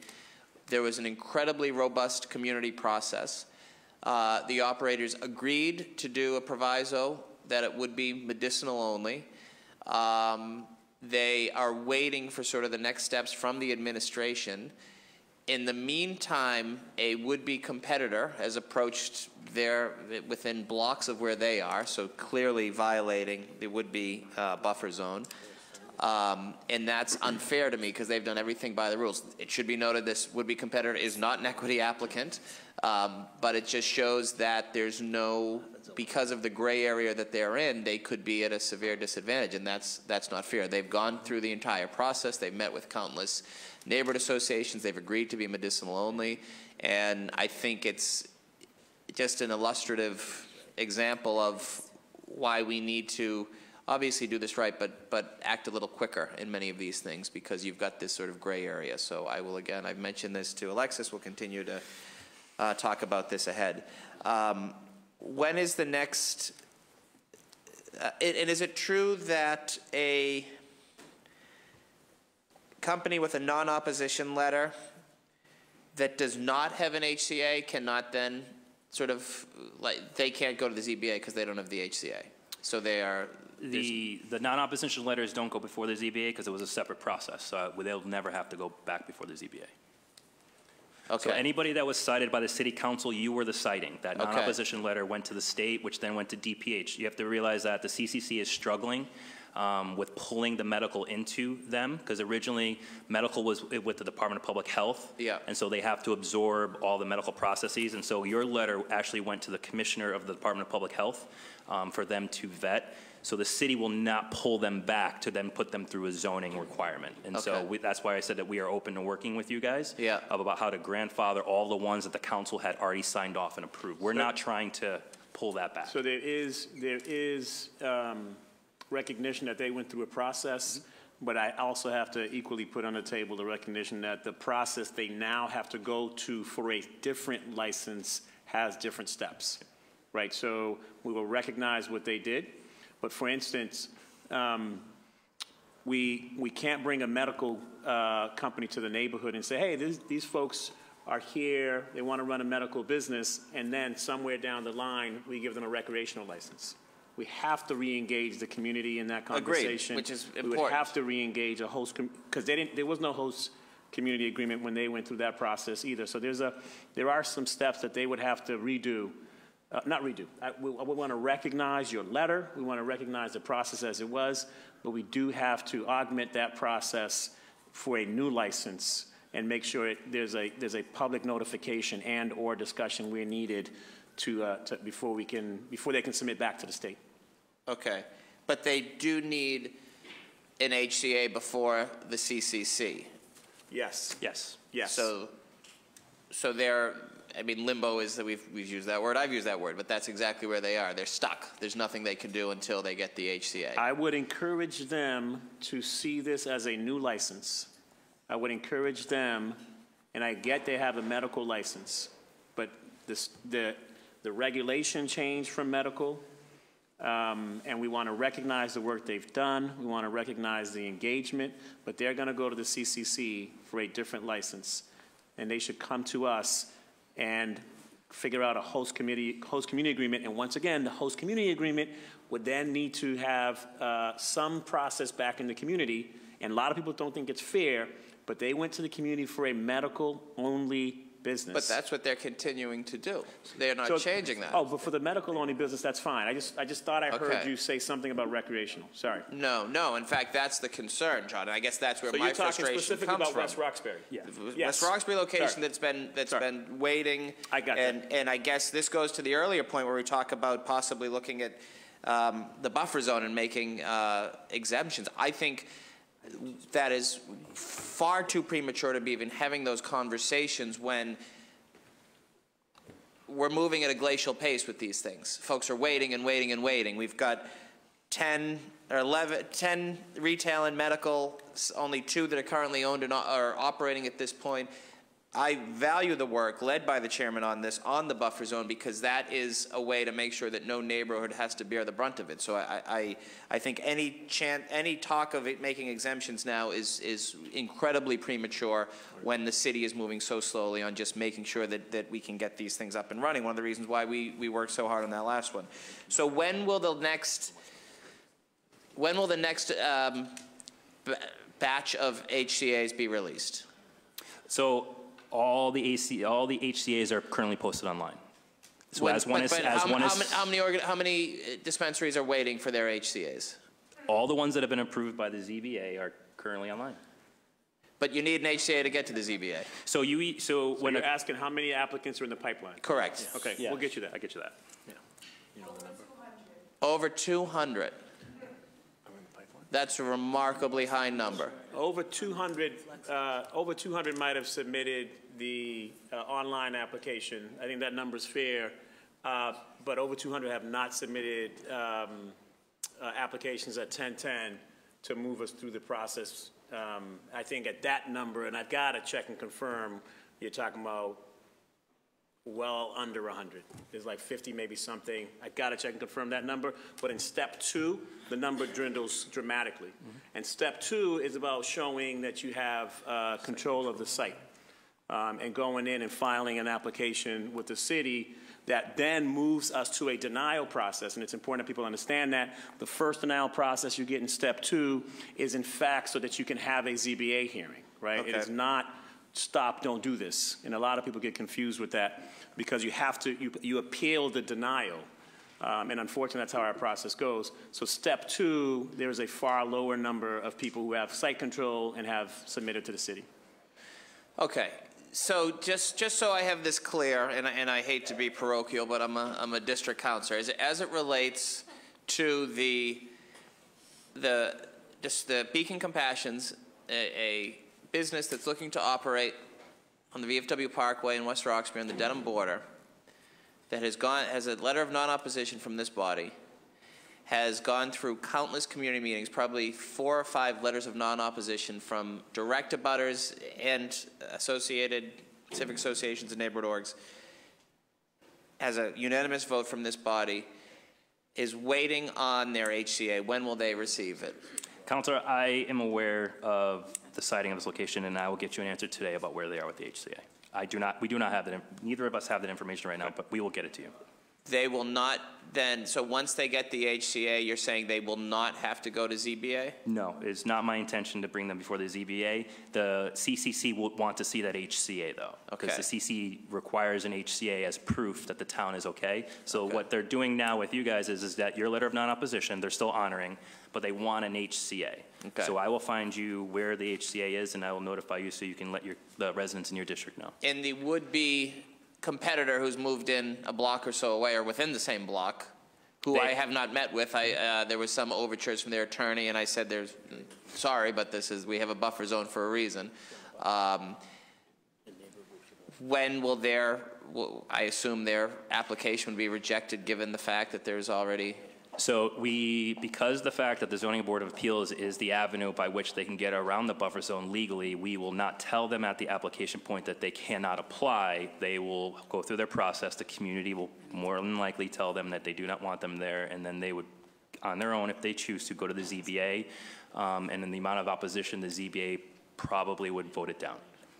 so, I mean, but how, do that seems like a waste of everybody's time. You can't, Councilor, Councilor, the, the, everybody, money. everybody knows the buffer zone exists, but we cannot deny an individual their due process to open up a new business. And so if I want to open up a, a mar- marijuana clinic next door to Beacon Compassions, I have every right to do so. And as the city of Boston, we have to put them through a process, and we will. It is up to them, knowing that they have these hurdles, to decide whether or not they want to go forward. It is not for me to tell them, no, you cannot. What if they business." wanted to uh, establish a, a retail shop directly across the street from a school?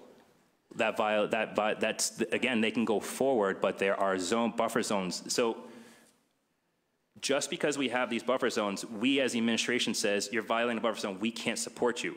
That does not stop you from doing your legal right process to seek redress. That's what the zoning board of appeals for. So all these buffer zones that we have, you can go before the ZBA and get relief from it, from the ZBA. So, and again, this isn't directed towards you. I know how hard you guys are working, but it is mind-boggling that it is harder to build a shed in your backyard than it is to potentially open up a marijuana dispensary. It shouldn't be. It should be the other way around. So I look forward, I've taken up enough time, Mr. Chairman. I look forward to getting that answer as soon as possible. Chief Smith, thank you. Thank you, Thank Chief you, Councilor O'Malley. Through the chair, Councilor Baker on the same subject matter. And just quick, so uh, um, in my process, very similar, agreed to do just medical uh, with, in, in the agreement that was negotiated, was negotiated, which we thought was a, was um, community host. They got the 3%. We talked about hours of operation, security, all that, all that stuff is in place there. So you're saying that they need a new one of those? Because it sounds to me like I I was better at negotiating than the community host was, so I'd be concerned about that. Uh, uh, uh, Say it again, just so we So, understand your so, question. so when they move forward and for Who's them. they? Just gives, Um, Five Clapp Street, I'm not sure what, what, what the organization is. So they, um, they made concessions.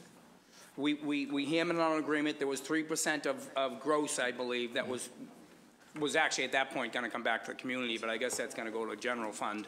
But there are other things in place where we talked about security, we talked about, and I don't know if that's the holdup there, but I believe they went to zoning and, and are approved at zoning.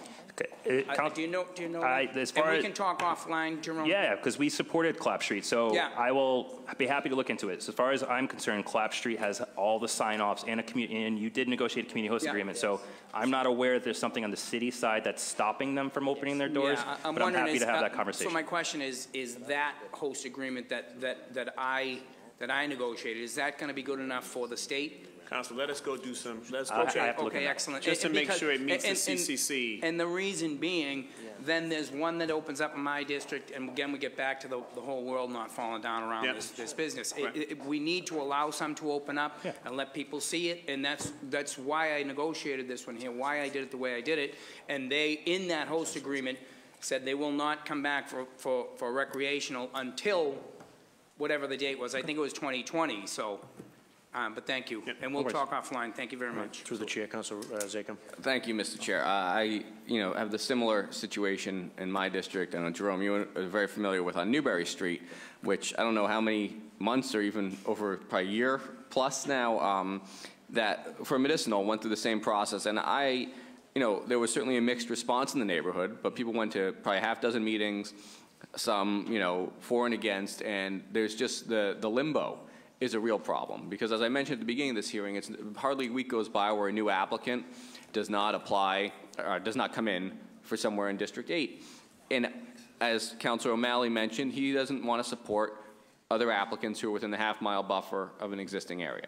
This is very difficult for me to have meaningful conversations with other applicants when we don't know where this medicinal license is. So uh, we don't need to get into specifics. I think the point's been made by some of my colleagues. But if these could be moved along one way or the other, to get clarity on that for the neighborhoods, obviously for the business owners as well. And this is a little off topic of this, um, of this hearing, so I will stop there. But it, it is important for us as we continue this process. So, thank you, Mr. Chair, for letting me jump in. Council Lydia Edwards, appreciate your patience, colleagues. Well, thank you very much. I am just going to uh, state a brief statement, and then I'll go into some, some questions.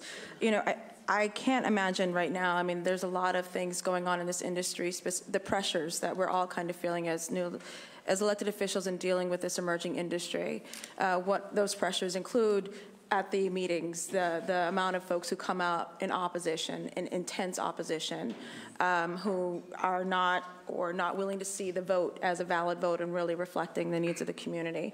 We have, uh, I'm just going to say it, some of the most greedy, um, aggressive, um, obnoxious, uh, rude, ignorant companies coming into our communities with no sense, no sense, no sense, or to, to be very blunt or give a damn about the communities they're coming into, trying to locate next to methadone clinics, trying uh, to, uh, not knowing the difference between East Boston and Charlestown. I, it, it is a mess. So I, I represent East Boston, Charlestown, and the North End, and I've been underwhelmed by uh, some of the applicants who've tried to come into our communities. Um, and, and, and so that's a pressure, though because you, they're, they're the ones who can get the capital together and come and stand in line and then say, oh, I was here first. And I, I remind them, no, actually, some of these immigrants and some of these folks and these local businesses and other people were here first. Um, so I just also, and I'm, I'm recognizing this, but I have come out publicly, wrote an article basically saying that at the core of all of this process is trust the ability for people to trust that the administration, that local politicians can do this process, get it right, and represent them and assure that their communities will come out on the other end safer, um, more equitable, um, and, and more fair. That, to me, is process that we need to be fighting for. So, so part of that process is one, assuring local control because people know who live in their neighborhoods and they also know who, whose door they're going to knock on if the business comes in and is, is a hot mess, right? So part of local control, and I think something should be considered for this, either this ordinance or for yourselves when you're considering, is, is complete and uh, is an agreement from the local business, if they are locally controlled, that they will not be selling it to a corporation after they start making a profit. Or at least something to be considered, because I have certainly asked them that. You know, you want to talk about local control and how you're staying here and how you're part of the community. How do I know at the end of the day you're not going to flip it and sell it locally? I'm going to continue through all my comments. Um, then there's also the question of the, again, about trust and, and keeping it local is the 3%. The community that gets the burden of this business is the community that actually get the, the benefits. And making sure that that 3% stays in those communities, I think that would actually help with a lot of, a lot of the, the, the opposition that we're facing, right? Is the assumption that, uh, you know, again, I don't know that it's necessarily been proven by some of my uh, constituents that a marijuana business is going to tank Maverick Square or tank um, Central Square. I don't know that that's been proven, but to be able to say they're also going to be contributing directly in that 3% to those areas, I think would help in some of the um, some of the uh, the back and forth with some of them. I think also there's there's an important thing, and I, I fully support when I I'm most excited about this ordinance is the establishment of a neutral cannabis board. I think that that is necessary to have all hands on deck with experts looking at this industry, where people in the neighborhood could also petition and, and voice their concerns. It pulls it out of the hands of an individual and puts it in the hands of several folks who are sitting neutrally and analyzing how this will emerge equitably in any neighborhood. Excuse me, in any neighborhood. I also think that's really important and what's really concerning is when the process doesn't work or when we get to a, a head. And that, that violates the trust of a community. As you know, in East Boston, we have two applicants with HCAs within a half mile of each other. And that happened through this process. I, I, I, support the half mile buffer for now. I actually agree with my colleague um, uh, Michael Flaherty that we should have the half mile buffer until we get to the 51 and then look at the industry as it emerges. But here we are going through this process, and here we are now with two applicants that on Google Maps and through, uh, through several, look, several conversations have been noted that they're headed and that they are within a half mile of each other. 107 feet. Yeah, it's short by 107 feet. I'm not interested in um, the East Boston getting the variance or being the first, you know, on that. I'm not interested in that happening. I was interested in a process that would work. And this, this, this to me violates and, and really, really helps to destroy the trust that a community would have in process and government to get this right. This, we're not talking about things that were unknown, right? These are things that were known and could have been vetted, and we should have been able to see this half mile buffer as an issue.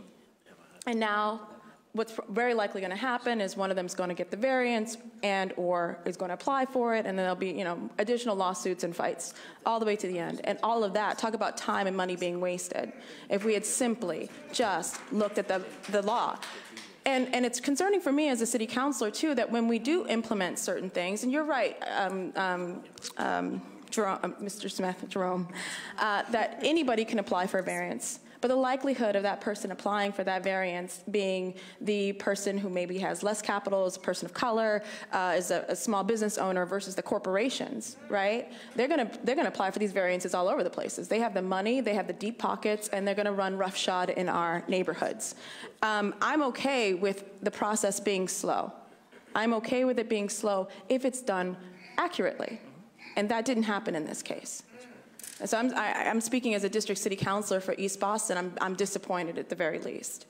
So um, the other thing that I'm really concerned about is also um, we're talking as though the process is not within our control. You know, if it takes us going from step one to step two to getting a denial letter as just a pro forma to get to the ZBA, that's a process that we can fix. That's a process that we can streamline and should be streamlining. This is, if it's an unnecessary step that puts people in a, in a waiting zone and pattern, then I say we remove the step and talk about how that can happen. So I, I know this is a lot uh, but I wanted to make sure that we weren't back and forthing over one question. Uh, I wanted to make sure it was very clear. Um, it's to me, it's it's keep it local, keep it efficient, keep it open, and put it in the hands of a Boston Cannabis Board.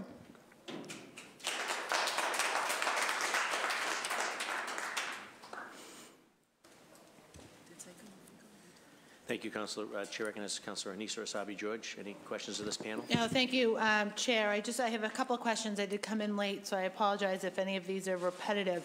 Uh, But one, one of the, um, the questions that's come up quite a bit uh, from testimony already today, or questions today, is the 3% tax.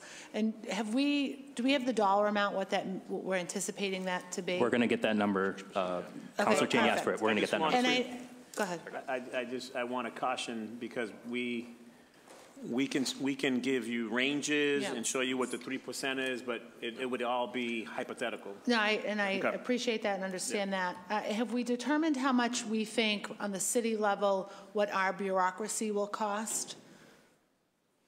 So we are in process of thinking not just the bureaucracy, which is a great question, and the program and services, right? So um, as I as I as I uh, said last time, the uh, the current program and services and bureaucracy that supports business development in Boston is all intertwined with federal funds that prohibits the use of, frankly, any of the services that we now have set for small business or business development to go to the cannabis industry.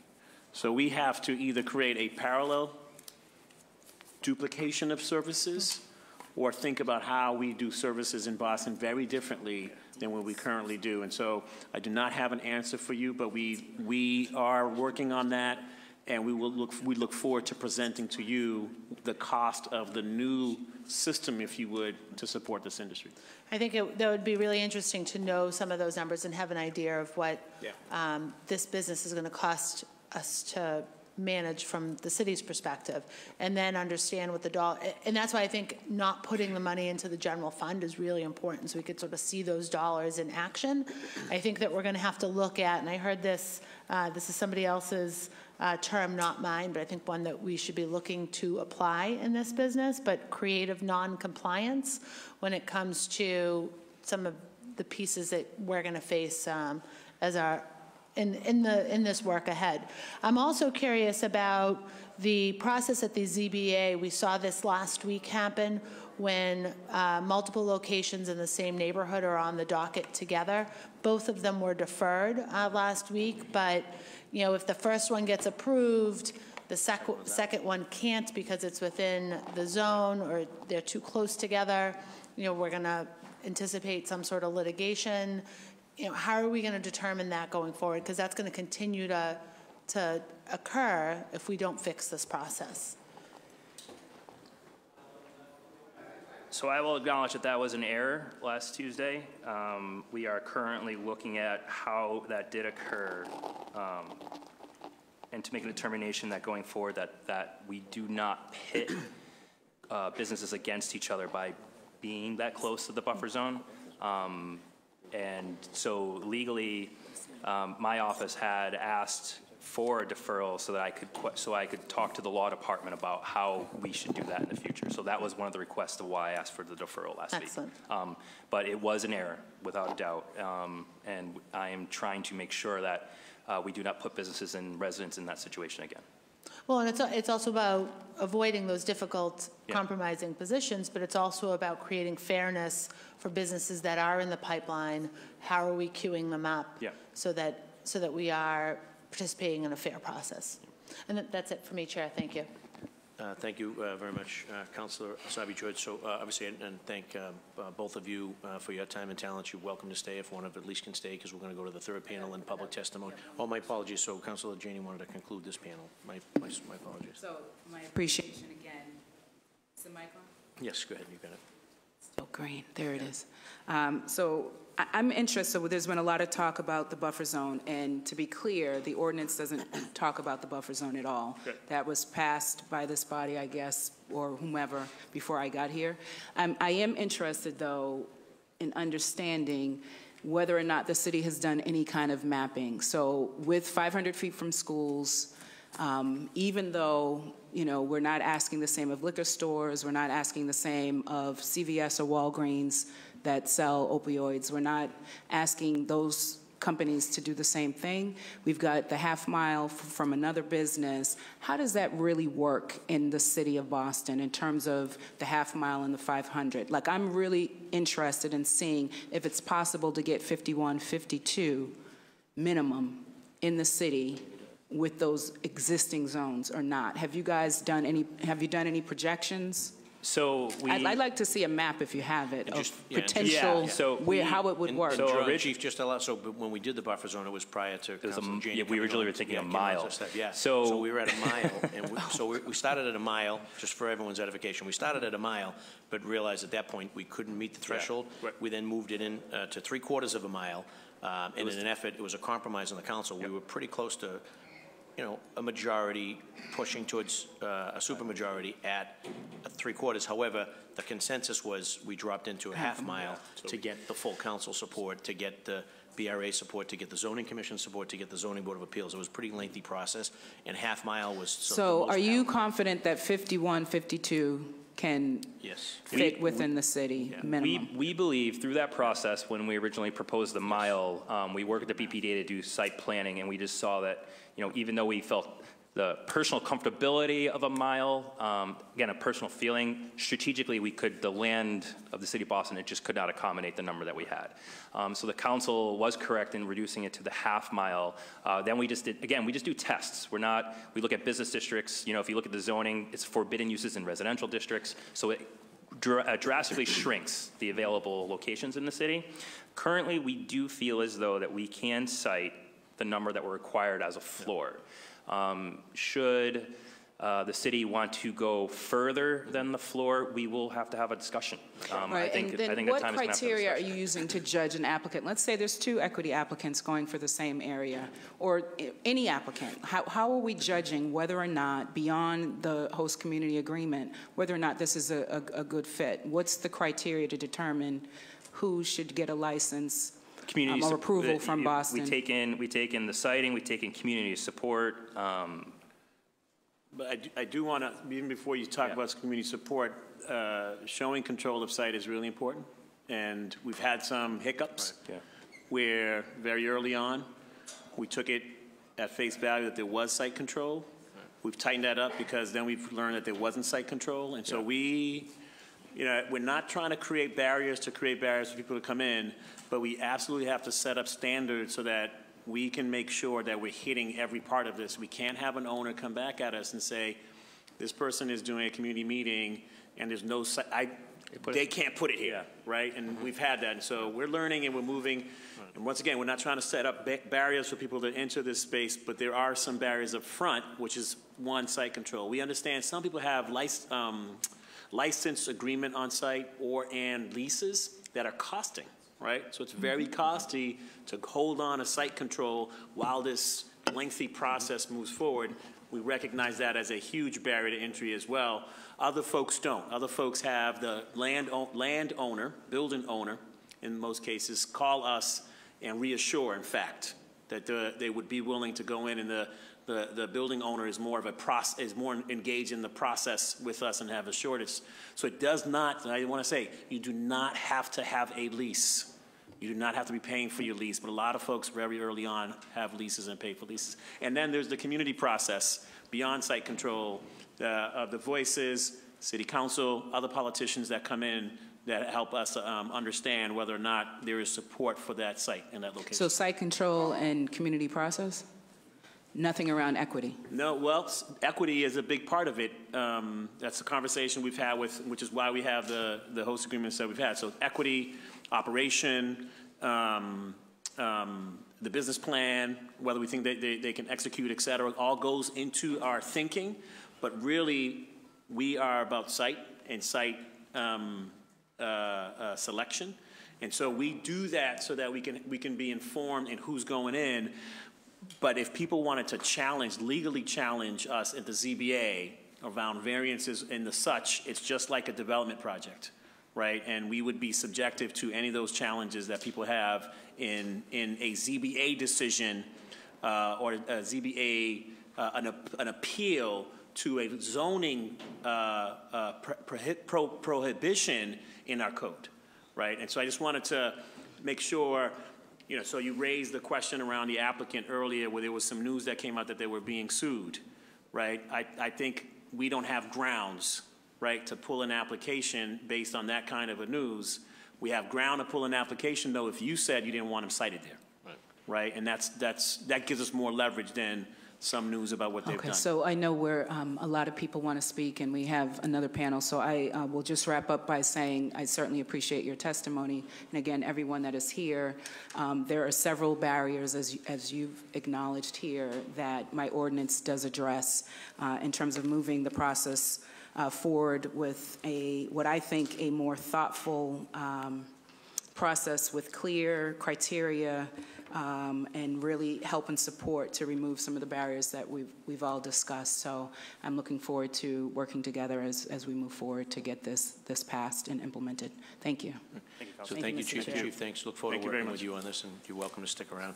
So our third panel, I'm going to have our third panel come down as they're getting set up. I'm going to try to weave in some public testimony. So if Joseph Gilmore, Matt Allen, Taba Moses, and Richard Moki Harding could make their way down across from me, I'm going to take some public testimony. Tito Jackson, uh, looks like Sean Burt, Leah Daniels, and John Napoli. If we can kind of weave in some quick public testimony as Joe Gilmore, Matt Allen, Taba Moses, and Richard Harding, Richard Moki Harding make their way down in front of me. Former colleague Tito Jackson, you have the floor. Wherever you're most comfortable speaking, you, you can just jump right in. Welcome back. You know something, Councilor Jackson, could you bump over to that one just because we're going to have this panel of four is going to come down? And that way there you can take your time. And the public testimony is going to be from that podium uh, right there. So public testimony can line up there. The panel of four, Joseph Gilmore, Matt Allen, Taba Jo- Taba Moses, and Richard Moki Harding. Um, So Taba's on one bookend and Richard can be on the other. Former Councilor Tito Jackson, you have the floor. Just keep talking. Okie get- doke. Um, we didn't have this new Technology, technology, that's when, right. when I was here.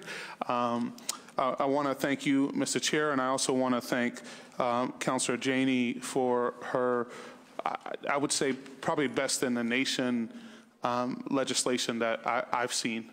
Um, I think this is some of the most uh, progressive uh, legislation that I've seen um, in, the- in the country, in particular um, with the component of taking the 3% of funding um, back to actually reinvest in the community. So I guess um, my, I, I guess the mantra here has to be, does Boston want to lead or do we, we want to follow? Does Boston want to lead or do we want to follow? I believe that uh, it has been our calling as a city to step forward and lead since the city uh, has actually uh, been formed. So I think we need to step up. And I think cannabis is our chance. Um, cannabis is our time. And in fact, the word cannabis can actually be substituted for the word opportunity. And uh, what I would say is um, the question has to be asked is this cannabis business for the few, opportunity for the few, or is this cannabis business for the many, an opportunity uh, for the, the many? Um, so let's let's dig in. I, I think it's critical that Councilor Janey brought up um, the topic of actual ownership because let's understand how wealth is built in this country and how wealth is passed on is, in this country is through business, real estate, and those are things that you can will to your children, and you can't will a job to any of your children. So this is absolutely about actual ownership. And in particular, and I, I do want to uh, be very clear here, the state of Massachusetts was clear in who uh, it was disproportionately affected by the war on drugs. Black and Latinos in the state of Massachusetts, in many of these neighborhoods, were disproportionately affected by the war on drugs. Uh, the ACLU put out a report from 2008 when essentially possession became legal. Uh, to 2014, if you were black, you had a 320% higher chance of being arrested for possession and a 710% higher chance of being arrested for distribution. And that actually answers the question whether or not people of color know how to run a, a cannabis business. Um,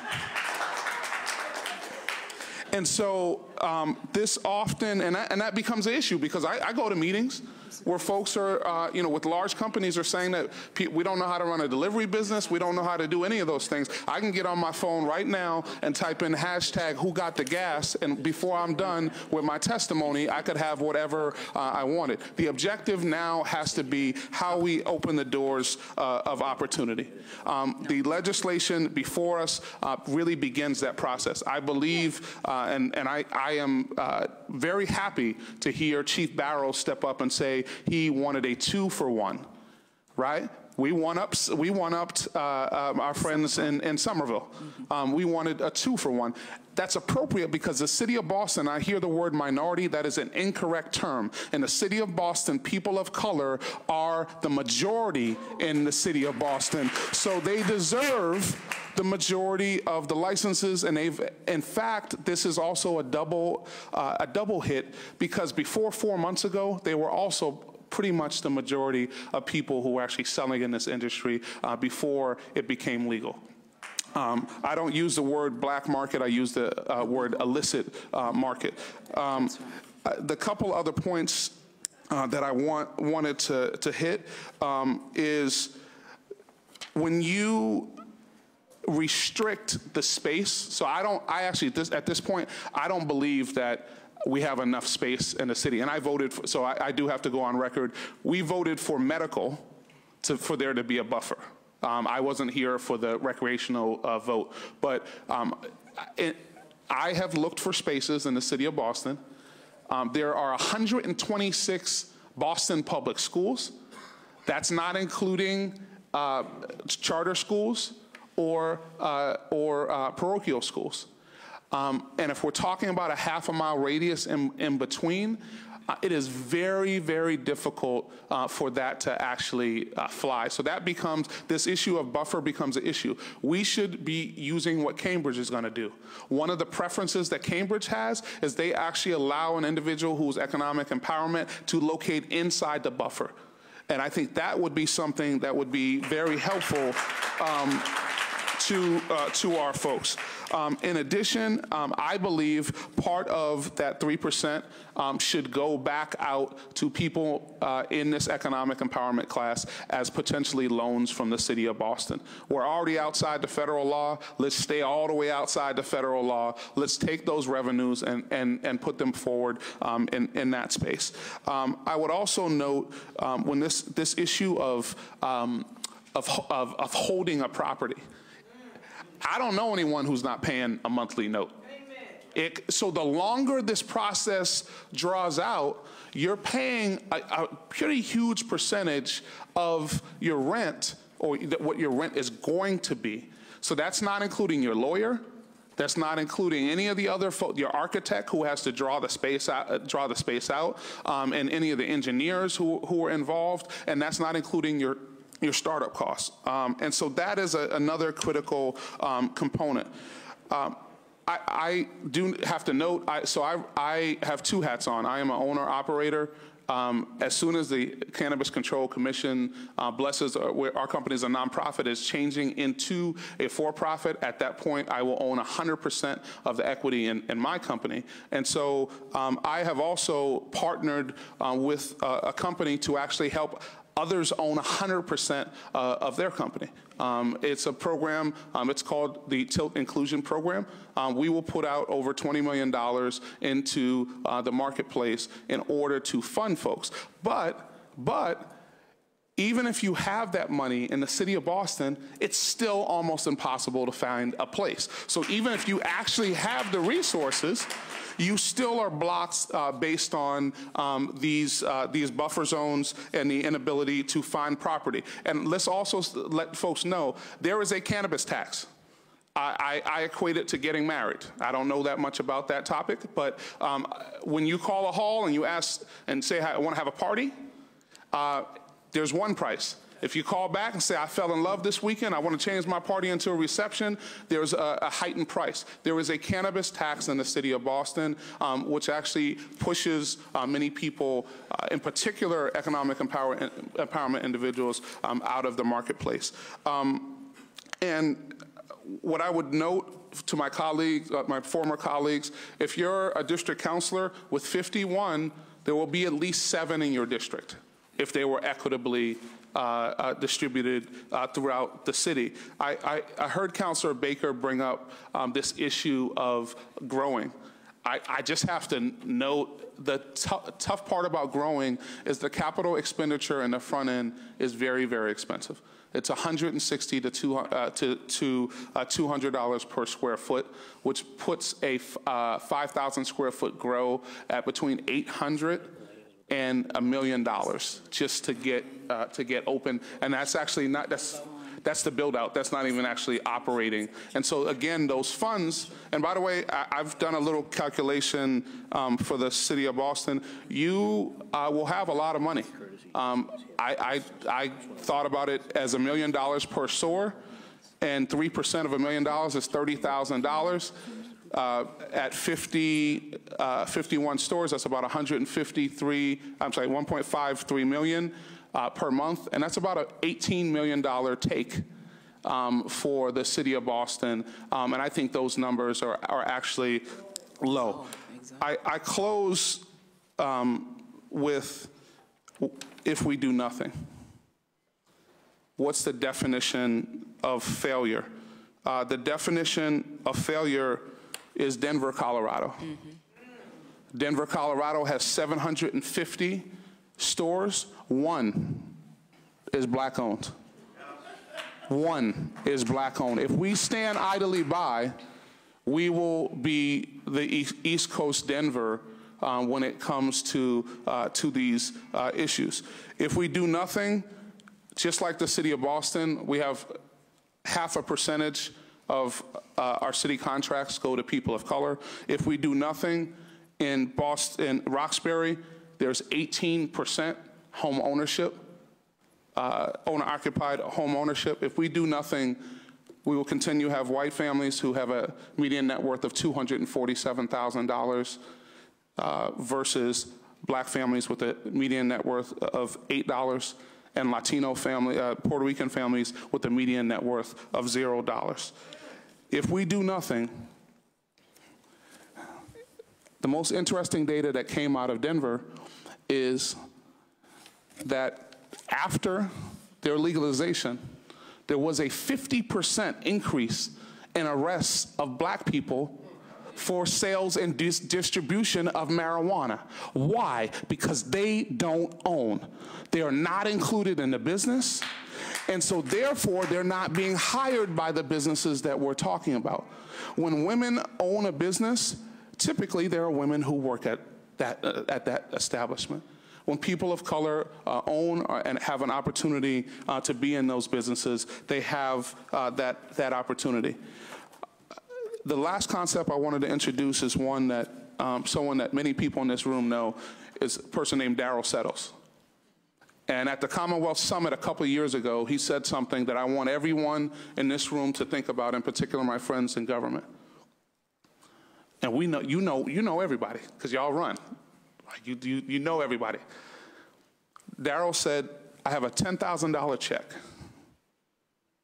I will write it out and make it out to any person in this room who can name a black owned business that does, I'm sorry, 10, 10 black owned businesses that, that does $2 million in top line revenue, not profit.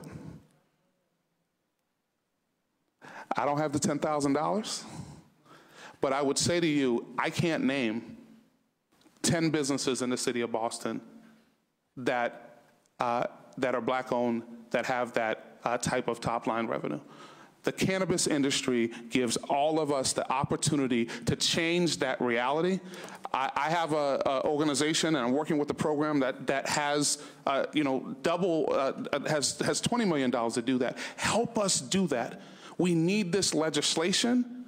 We need this moratorium, and we need you on the council uh, to uh, walk in your power uh, to open the doors of economic opportunity, not only for those who have, but for those who are disproportionately affected by the war on drugs. Thank you for this opportunity. Thank you.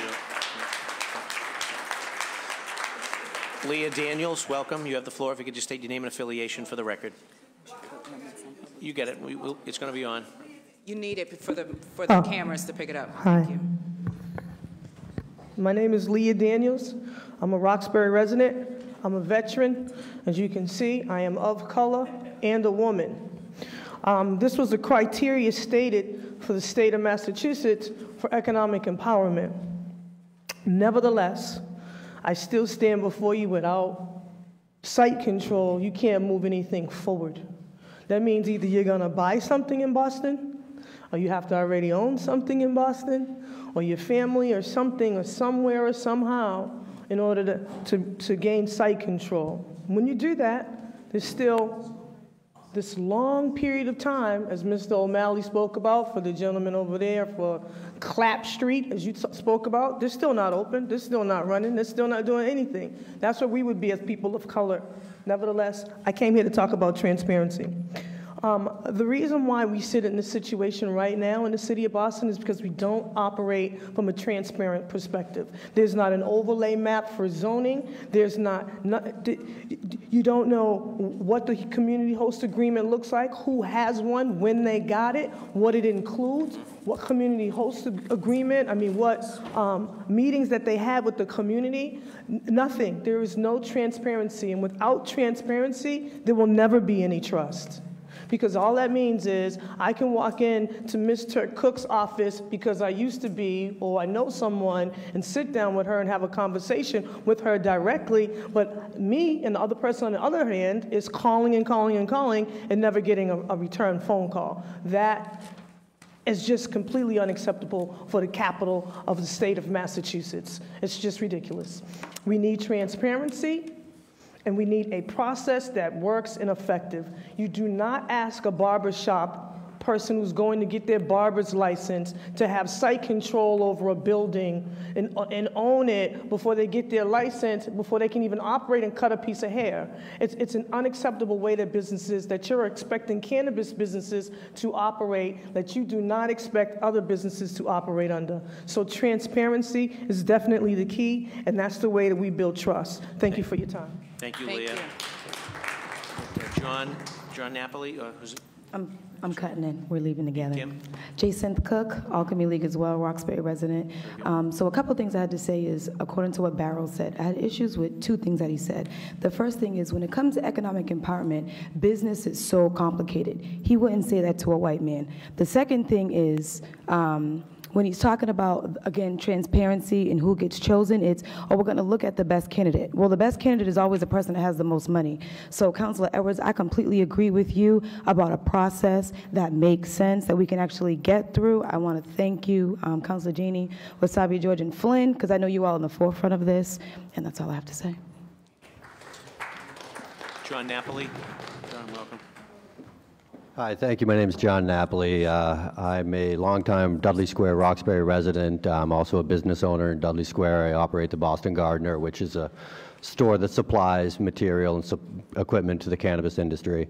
Um, also a marijuana dispensary agent. Um, I was involved with the second dispensary to open in Massachusetts down in Brockton in good health, and we've had nothing but positive experiences down there. Um, I've also formed an economic uh, empowerment entity and have been uh, looking to license up here in Boston for years. We have locations locked down. We're through the application process up to the point where we've been rejected by ISD, and now we're just in that limbo phase. And here we are, like everyone has already mentioned, trying to hold on to properties, pay lawyers, pay architects, and we are going through an indefinite process where maybe at the end of the process we have a license, maybe we don't. So I don't know how an economic empowerment entity is supposed to shell out all this money up front on the hopes that maybe you'll get a license. Really, all the advantages are going to the big moneyed people right now. Uh, So I think it is essential that we let economic empowerment applicants get in the buffer zones uh, here in Boston. That half mile, all that, all that half mile is doing is creating a monopoly for that entity right there and overvaluing that business. And the reason, one of the reasons Cambridge said yes, economic empowerment applicants can get within this buffer zone is because the same thing was happening in Cambridge where they'd set up a, basically create a monopoly for this one operator. And there's one uh, operation on Mass Ave that got bought out for, you know, 50, 60 million dollars, and that's in part because the city helped them overvalue their business by giving them a buffer zone. These buffer zones are hypocritical, they're counterproductive, and they prevent economic empowerment applicants from being able to open a business. We don't have the, these buffer zones for uh, strip clubs, for Walgreens. We don't have them for liquor stores. Why in the world do we have them for these businesses? Um, and you know, you don't have to open it up to the whole world. Just open it up to the economic empowerment applicants to give them a, a slight leg up. Uh, there are people who are of this community that should be welcome into these communities without having to go jump through as you know the, these hoops are what prevents these businesses from opening. So I would finally say that even in areas of disproportionate impact, I would get rid of the buffer zone for the schools. They're hypocritical. They're preventing people from getting open in their own communities. I have a spot located within 500 feet of a school in a commercial district in Dudley Square that is a strip club that we could convert into a cannabis store. And I think everybody in the community, including me, who's a homeowner, would like to see that strip club become a cannabis store that would help value in our neighborhood and it would help improve Dudley Square, which really needs improving. But we can't do that because of these buffer zone regulations. We have everything else in place. We have the economic empowerment team. We have the expertise. We have everything ready to go.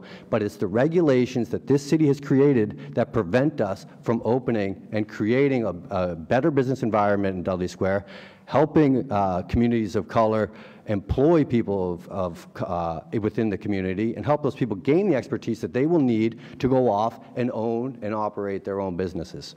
Thank you very Thank much. you. And Sean, uh, Sean Bird, Sean, are you speaking with Amani? You guys a team, it's on the same team. We're team? going to speak as a team, if That'd be that's all great. right with you. Thank you, very good, yeah, perfect. Thank you. I- I- Thank you for the opportunity to the chairman and Council Janey for your efforts in this. Uh, My name's Sean Birdie, uh, Roslindale resident my entire life, going back generations. My partner, uh, Armani White. Yeah. Armani, uh, thank you for having this uh, hearing, and we're a team. Uh, yeah, do you want me to start? Or you want me Please, to go oh, for sorry. it. So yeah, so again, I'm from Boston, born and raised here in Roxbury. I'm an advocate who has um, pushed for a lot of what this ordinance talks about, and I love to see it happening here in the city and being led by District Seven. Um, one thing though that we feel like um, is kind of stopping us that's in this legislation that we think um, by removing it would improve it. Um, there's a couple, it's like basically two or three things. Um, so again, like I'm a African American person. I qualify. I'm, we're- an economic empowerment team.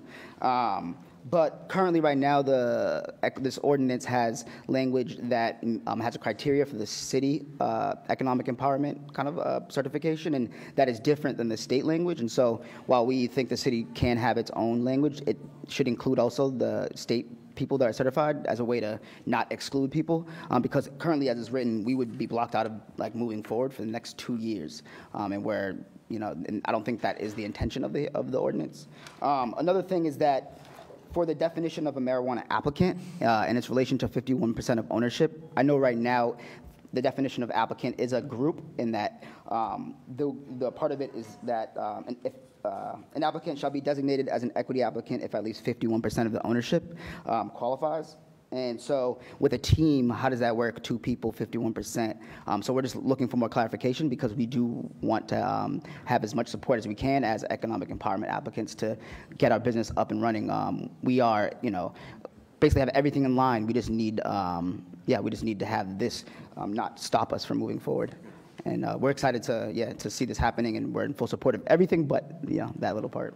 And and if, if I may just touch on one more of the criteria um, relating to past convictions, uh, it doesn't include, and I know there's been a lot of words um, thrown around that, that frighten people who don't understand drug crimes.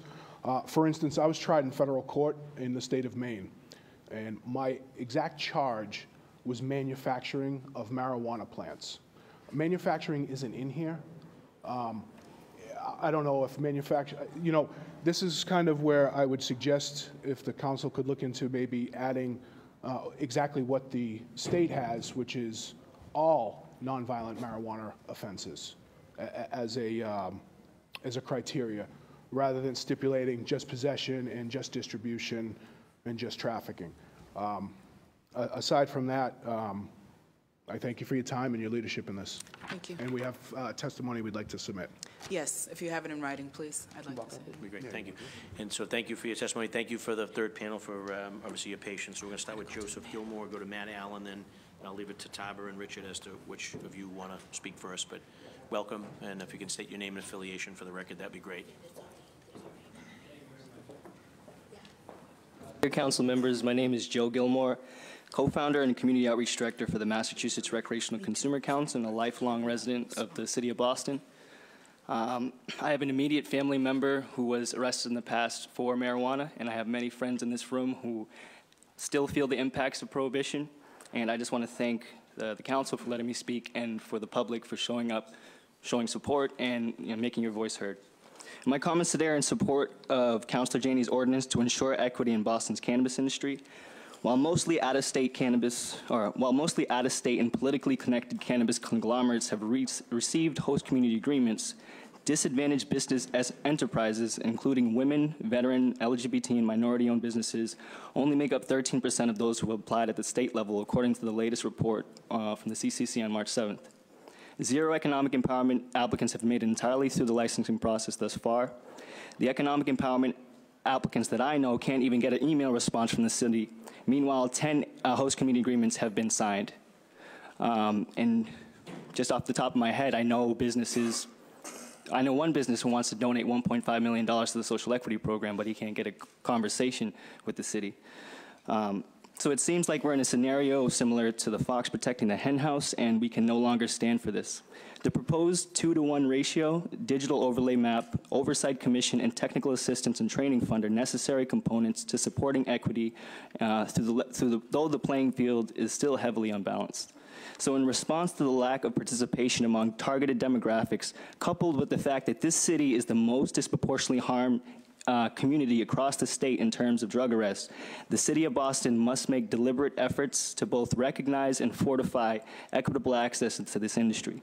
And I, urge, and I urge my representative, representative, Mr. Frank Baker, and the rest of the City Council to vote yes on this ordinance. In addition, I just have a few suggestions that could be considered to improve the ordinance. Uh, so number one, according to the hearing on minority business conducted by Councilors Michelle Wu and Ayanna Presley, only 0.5% of city contracts go to minority-owned businesses in the city of Boston. So what the city council should do is mandate 50% of contracts related to cannabis establishments be awarded to certified Boston equity applicants to promote opportunities through ancillary services for cannabis establishments such as plumbing, construction, security, electric, and other contractual work in relation to establishments. And one way uh, suggestion that you could do this is by having a preferred vendors list among the equity applicants that apply. Two, general applicants are fighting over site, site locations with economic empowerment applicants when they're supposed to have priority. If ignored, the half mile buffer zone between marijuana establishments creates a pay to play scenario wherein, due to the limited number of permitted site locations, real estate is accessible to the wealthiest operators. In order to ensure full participation, this buffer zone should not apply to certified Boston equity applicants. Uh, regarding uh, number three, regarding a local Boston expungement program to automatically expunge cannabis convictions, which I haven't heard much discuss, discussion about, which I feel is very important. So cities including San Francisco, California, Newark, New Jersey, Portland, Oregon are calling for the automatic expungement of marijuana crimes through the use of new technology. The program created by Code for America would allow district attorneys to use new technology to determine eligibility for record clearance under the state law, automatically fill out the required forms, and generate a complete motion in PDF format, and the district attorney's office can then file the completed motion with the court. So I believe the city of Boston should look into this technology and implement that. Um, number four, considering adding cooperatively owned businesses should be an added point uh, to qualify for Boston's social equity program. In Somerville, which isn't even a disproportionately harmed community, they recognize the importance of cooperatively owned businesses to incentivize communal and generational wealth. As an alternative option for local residents to acquire funding and access to ownership, incentives for community-owned marijuana establishments should be a priority in Boston. And the last one, number five, I believe that there should be shelf space for equity applicants in the retail dispensaries. Retail dispensaries operating in the city of Boston should require 51% or more products sourced from equity certified applicants. This would help incentivize more accelerator and incubator programs to mentor equity applicants and reduce barriers to entry while getting local products in dispensaries. And I'd like to close with um, I'd just like to implore the City Council to consider these suggestions to bolster opportunities for those who have been historically disenfranchised. These individuals must, uh, these initiatives must not be subverted as an afterthought. And as constituents of the City of Boston, we demand equity and transparency be foundational components to the rollout and process of this industry. Thank you.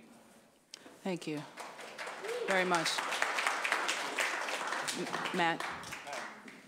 is uh, Matt Allen, and I'm field director of the ACLU of Massachusetts. I'm also the former chair of the Public Safety and Community Mitigation Subcommittee of the uh, Cannabis Advisory Board. That's an advisory board that was founded by the uh, Adult Use Law to advise the Cannabis Control Commission. And I'm the former president and founder of the group that brought the medical marijuana ballot initiatives to the voters and the author of the uh, uh, report that uh, Tito Jackson mentioned on the racial disparity in marijuana enforcement here in Massachusetts. And in those roles, I've certainly gone to a lot of these community meetings that uh, we've spoken about where residents, uh, we're talking to potential dispensary operators about the impact of the business on the community.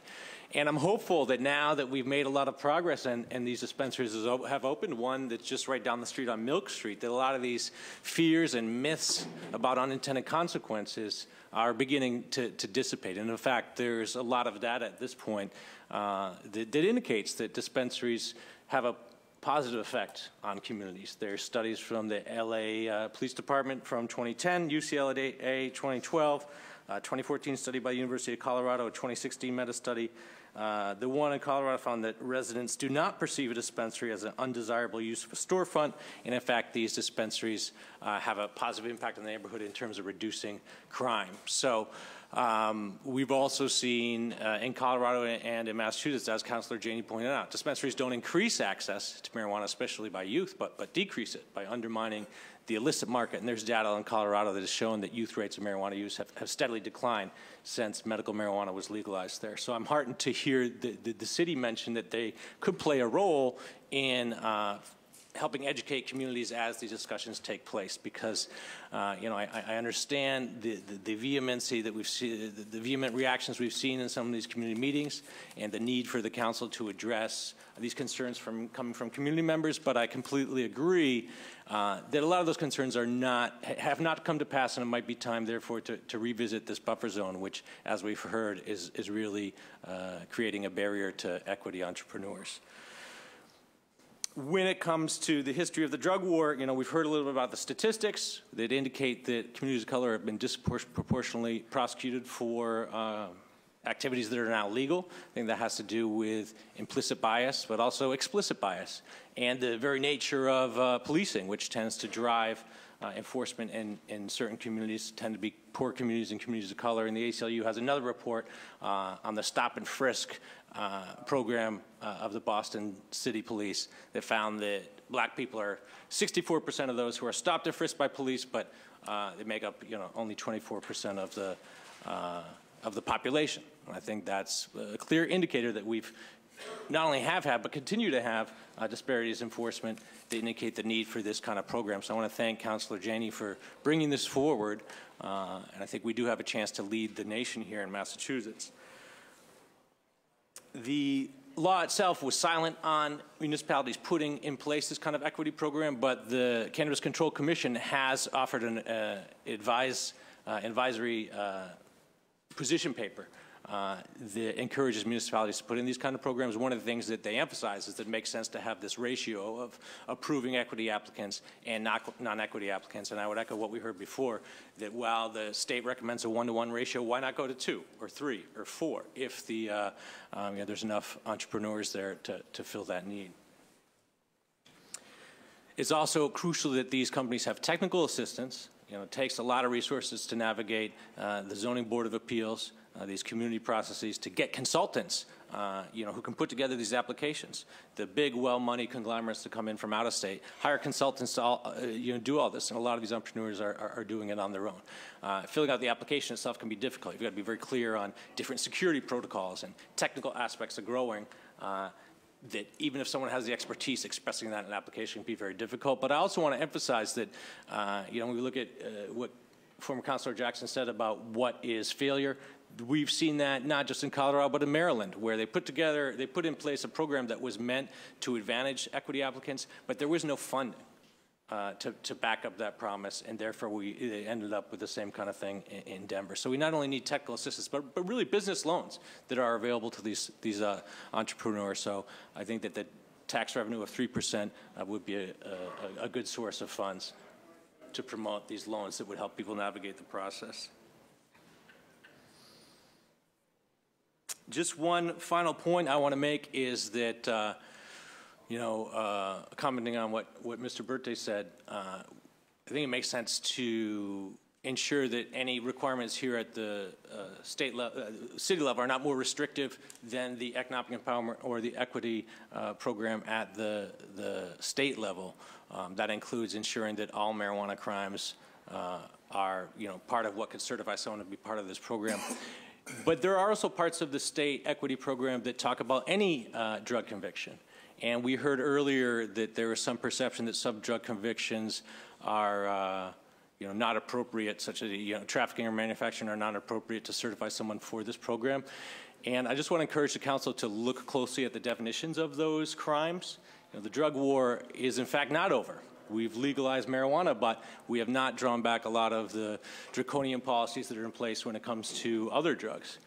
Trafficking, for instance, it, it, sounds pretty bad, but I think we've got to keep in mind that the, the, definition of trafficking that's on the books was put in place by the proponents of the drug war to justify going after small dealers and even people who are just using drugs for personal use because they have a substance abuse uh, disorder or because they're just using recreationally and don't have a disorder and cast them as sort of big drug kingpins to justify you know, putting more money into law enforcement and more convictions. But if you look at, for instance, what the limit for trafficking is of a Class B drug, which includes cocaine, it's 18 grams. That's just a, basically a little more than a couple packets of sugar. So, um, 18 grams is a little more than a packet. Half ounce. Eight. I'll have to go back and, and, and It's a half, it's a half, it's a half. all right, I'll, I'll have to, Re- re- re- re- Retract that statement. well, I, I- I'm going to check my math on that. You don't need to check your math. Okay, let's continue with the I think hearing. my We've got a point is lot of we're people not who talking want to about- testify. Please continue with your presentation, Well, Matt. we're not talking about, uh, you know, airplanes. F- We're not talking about kingpins who are bringing in uh, drugs from overseas or a 747 full of pounds of. Uh, A lot of coke. 18 grams is a lot of coke. my point is that we're not talking about people who are, who are trafficking does not necessarily mean that we're talking about people who are crossing state lines, who are fueling, uh, you, you know, working with drug cartels, filling 747s, or, or, or really fueling this epidemic. Um, and I take your point about uh, my math and 18 grams uh, being wrong. I will have to. What I want to check is not the math, but the statute, because I have looked at this before, and I think there are some. Uh, levels of, of, of, trafficking that really do constitute personal use. And I would look forward to, to, to responding directly to you, Councilor Baker, uh, to clarify that. Thank, Thank you. Any final points? No. Good. Okay, Richard and Taba, would you guys introduce yourselves and make your presentation? Um, hi, how you doing, Councilor Janey? Thanks for having us. Um, my name is Taba Moses. I'm the CEO, owner of Green Soul Organics. Um, we are an empowerment applicant group. Um, we positioned ourselves to hopefully be the first seed to sell black-owned company on the East Coast. We have a cultivation agreement, um, a host agreement with Fitchburg for cultivation. Um, we have a site in the South End, 549 Columbus Avenue, and we've just secured a site on the outskirts of Fenway um, as of last week. I think here there's a chance to really change the story here. Um, if you really look at what's been going on, um, the opportunity for generational wealth for people of color. The big question here for me is what the cannabis industry means for the community and for people of color that have been affected by the war on drugs. Um, I think Councilor Janey's proposal is extremely important for our community, and it speaks to the need to create a platform which will ensure that we end up with real skin in the game. The issue of economic access for people of color is just as important today as the right to access public accommodations were for people of color back in the 60s. When you look at the process from the standpoint of equity, there are some real stumbling blocks here, and um, what I did was put together a list of barriers that we went through um, going through this process, and I'd like to share that with you guys. Um, barriers for pre-application, right? So pre-application barriers to entry. Understanding how to navigate CCC web portal and getting the right answers to questions you might have about your license and what you're interested in applying for, one. Two, economic discrimination. Three, forming your company on paper. Four, understanding corporate structure. Five, hearing the right, hiring the right legal team, general counsel, cannabis attorney, zoning attorney, corporate attorney, real estate attorney. These are all people that you need in order to move forward with this process, or finding someone that can do it all, which is likely impossible. Six, competing with commercial realtors, competing with big business for space, overcoming the half mile distance rule between yourself and an existing location, finding landlords that will do business with you, finding a lawyer that can represent you without being in conflict of interest, executing an LOI and negotiating lease terms. That's before you even get to the point where you're going through the license process. So we went over all those hurdles, and then we got to our second barrier of entry, which was identifying a location, right? It's one of the hardest things to do. So I spent about a year calling people, and when I realized that all the commercial realtors who were representing big business didn't have my best interests, I began calling landlords. I began doing my research, finding out, well, who actually owns the property, and having conversations with them. Um, those barriers here, creating a detailed business plan. I don't think people under, understand how hard it is to put that together. Developing a marketing plan so you can present yourself.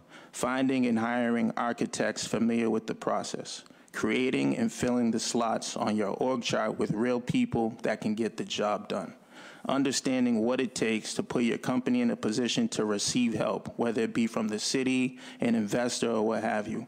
Creating a company structure that works for your business, your partners, and the people you intend to hire. Understanding the difference between debt, convertible debt, and equity investment so that you can raise money the right way without undervaluing or losing control of your company. Finding a good accountant, understanding how to navigate the community, city, and state process, packaging and presenting your company in a way that shows you have full understanding of all the ins and outs of the business and that you're capable of meeting all the requirements which the city and state demand. We're at the process now where we did our, um, we filed our application and we're waiting for our rejection letter. And then moving forward, I thought about all the barriers to success that people have to look at in order to be a successful business once you get the license to open. Um, so what I have here, securing the right amount of financing so that you can operate at full capacity, getting past the learning curve, opening up a bank account for your company. There's only one or two banks that allow you to open up, right? So even if we have a license, where do we go? What's the process for being introduced to the president of the bank or whoever is going to allow you to open up a bank account, and what's that conversation look like? Um, implementing workforce development and staff training programs just because we have a license, it doesn't mean that we know how to operate the business and conform with whatever the state regulations are. So one of the biggest things is making sure that people who have empowerment applications that are filed aren't being set up for failure. Um, forming key partnerships with brands, people, and companies in the cannabis industry networking and forming relationships with ancillary businesses and companies that provide services you might need to run your business at the local level. Sourcing product, wholesale agreements that ensure your shelves stay stocked and that your retail locations will have a chance to be profitable. I think that's a huge concern. Um, I think there's, there has to be choice. We have to create opportunity structures that allow people who end up with retail to negotiate good deals so that they're not stuck, right? Just because you have a license, you have a retail, you still got to figure out where you're getting your product from, how much you're going to pay for that, and what does that actually mean for your business. Um, understanding and um, understanding and implementing best practices. And then finally, identifying how to operate a POS system which fully integrates with Metrc, state mandated adult tracking system, and complements your efficient, efficiency retail model and customer flow. Then understanding the intricacies of running your business so that you are always prepared for city and state regulatory inspections and audits in order to avoid potential citations of being shut down. So these are the things that I've come up with and what I've actually been living through with my group, right? And I think those are the things that really have to be addressed. And we got to find out how we create opportunity structures between the city, the state, landlords, and people in our community so we can really make this work. Thank you, Taba. Anything to add to that, Richard? Is this on? Yes, it is. You got it, yep. Uh. So, and I think Taba spoke about a lot of the things. I think there are other people here, uh, Mr. Jackson and other people who hit some very key points. I think, though, and I want to thank you, Councilor Janey, for your ordinance. Um, I would just say this, that you asked the most profound question in the room today, who will benefit? And I think the precedent has been set. I think that the people who will benefit will be rich guys from Nevada, California, New York, and Colorado. Um, the precedent is set. we know who will benefit if we don't do this right. And I think that, quite frankly, they're waiting for the big guys are waiting for you all here at the City Council to blink. They're waiting for you to just acquiesce to what happened all across the country and allow the conglomerates to rule the day. And so, what we've been trying to do with our group is just to do it the right way. We've taken our time, we've been um, methodical about putting our group together. Um, our diversity is real. If you look at us, we are who we say we are. Um, you can look at our um, all the folks involved with us. We're not the token anything. We're the owners of this company, and we're going to move this forward um, as best you help us and let us in, in the right direction in the name of uh, social justice and community. What we've done is, in our opinion, we've created a model that could be the model for the state and having a nonprofit, the Green Soul Foundation, which is going to set up a workforce training program so that you actually have skilled workers who can come into the business that we own, as well as uh, training skilled workers for the rest of the up to 52 here in Boston and across the state. We think that, like any other emerging industry that's new, you have to have skilled workers that are ready to hit the ground running. We, we've learned from our friends in Cambridge in the most innovative square, square mile in the world in Kendall Square that residents are shut out from the Googles and the Microsofts and all of the bio and life sciences. This is a fact. So we don't need to think about what might happen if we fail. We know what's going to happen. And so uh, our organization um, has really been um, guided by making sure that we're holding the social justice values that you espouse um, to heart, by making sure that we understand that giving back to community um, is really about making sure the community has a place at the table. The war on drugs has been destructive to many, and we think that um, our, our model with Green Soul and the job training of a highly skilled workforce will be helpful to train anybody who wants to be a bud tender, a, a cultivator, all the way up to the executive um, place in this industry. Lastly, I'd say um, I think that Boston is, it, it, can be a leader, quite frankly. I think this hearing today has shown that Boston has the capability to lead. I know that, you know, our friends in Somerville, you know, they put it together for what works for them, but I really think that this industry in Boston will be tailored by you. You have to make sure that it works for the residents that you support, and we hope to be a part of that emerging industry, and I look forward to the conversation. Thank you. Thank you, Thank you Richard. If I could just uh, respond to uh, Councilor Baker's objection, I just want to know, a packet, I just took it up, packet of sugar is two to five grams, so 18 grams is, you know, four to five packets of sugar. Marijuana here, you, you bring cocaine's a whole nother animal. I just, I, I found a little, cocaine tore through our neighborhood. I, I, thi- I, All of our neighborhoods. yeah, I, I understand. make it Like it's, it's light, it's not light. It's not light, sir. Uh, The point I want to make is that the state level regulation for equity says anyone convicted of any drug crime, and I just want to say, you know, if someone has that drug crime, we needn't, uh, I, I don't want to, issue was you making light of the fact of, of 18 grams of cocaine. Cocaine tore through our neighborhoods, destroyed thousands of families in Boston, and you shouldn't make light of it. I certainly don't That mean, yeah, I understand, We're sir. talking about marijuana here, marijuana's a little bit of an animal, you know? you Yeah. Whatever, thank you. If you want to have a meeting, I'm across the hall. Thank you, Councilor. Thank you. Any questions of this panel? Councilor uh, Kim Janey? Uh, Just a couple. Thank you all for your very thoughtful testimony. Um, I wonder, Matt, if you could speak to, you. there's a report I think that you guys did at the ACLU that uh, talked about that dispensaries do not attract crime, 2012. Yeah, I was, in that case, I was citing a report that I believe was done by the, by UCLA. uh, Oh, where yes, they I'm looked sorry, at- yes. at- at the- at UCLA, not yeah. ACLU. So, so there is a lot of data on that. I, you know, I will send in my testimony that includes references to four reports. I've also um, talked to city councilors and uh, worked with a group called Americans for Safe Access that worked to implement medical dispensaries across the country. It actually has some testimonials that, that city councilors in California provided to that group where they go on record saying, you know, I, I was very hesitant to bring this dispensary to my community in the, uh, at the beginning, but after seeing how it was implemented and seeing the partnerships that they made with local business, you know, I think that, that uh, uh, it's had a net positive Thank on the neighborhood. And you mentioned, I think, in your presentation about the impact on public safety as it regards to, to young people, to youth, and that in Colorado, there's been a decrease. Absolutely. I was, in youth insure- access. I'll, I'll, I will uh, certainly send uh, that information be to the committee as That well, but that's, that's data from the Department of, of uh, Health uh, for the state of Colorado itself. And then that's finally, uh, for you, uh, which groups have been most impacted by the prohibition on cannabis in Massachusetts? I think there's no doubt that, uh, you know, when we looked at the FBI data uh, that uh, Councilor Jackson cited that found that uh, black people are more than three times uh, more likely than whites to be uh, prosecuted, be arrested for um, possession and seven times for distribution. That data only categorized people in terms of black or white because of how the records that the FBI uh, keeps are categorized. So I think that if we were to include uh, Latinx people and uh, other demographics, you probably would see the, those numbers actually go up higher. Yep. And um, final question for this panel, because I know we've got a lot of folks who, who want to speak.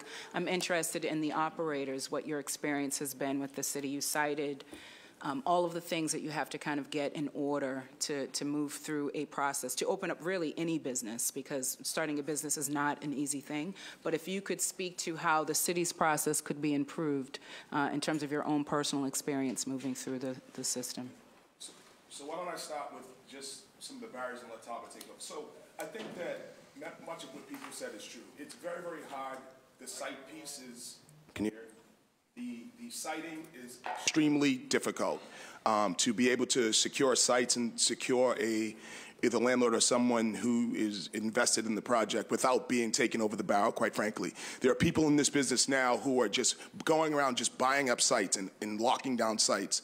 And so that's one big barrier. I think that it's also um, very, very um, hard to really understand all that's going on, meaning that the process has to be a little bit clean. I think that people like John Barros has been great to our particular group in, in, in, in showing us the way to do it the right way. But I think that much of what you heard today is consistent with what we're going through as, as we're trying to pull our license together and get um, approved. Yeah, Mtaba, if you just want to add, I'm really interested in how the city, some, a lot of what you mentioned, the city can't control, like people gobbling up all the land. But if you can talk about how the city uh, could do a better job at helping operators like yourselves move through the system, that would be helpful to me.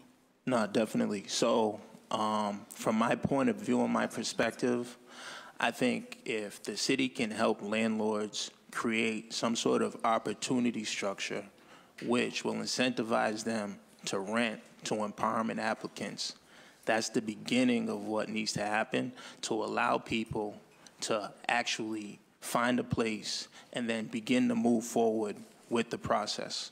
I think after someone finds a place, there has to be some sort of technical assistance program that helps people say, look, even though you just applied with the CCC, right? There's all these things that you need help with. So when people get locked up on the street, right, you get a public defender. Um, however much they get cost, you get a list of lawyers and they say, we're going to help you, right? If the city has a list of lawyers that say, look, we're dedicated to serving these big businesses, but we're also going to put time in, right? We're going to allot time and maybe the city will reimburse us for our time to actually help people walk through the process. I think that's the biggest hurdle. So you say everybody applies and then all of a sudden there's a huge drop off, right? So that drop off is understanding what the next phase of the process is and being able to organize a team that can actually help you push forward. No one's going to open up a business on their own, right? And if you can't create a team that's going to help you get to those next steps, then it's never going to happen. No matter how much you think you know what's surrounding your neighborhood and you can speak to the community and you can say, you know what, we know what we're doing.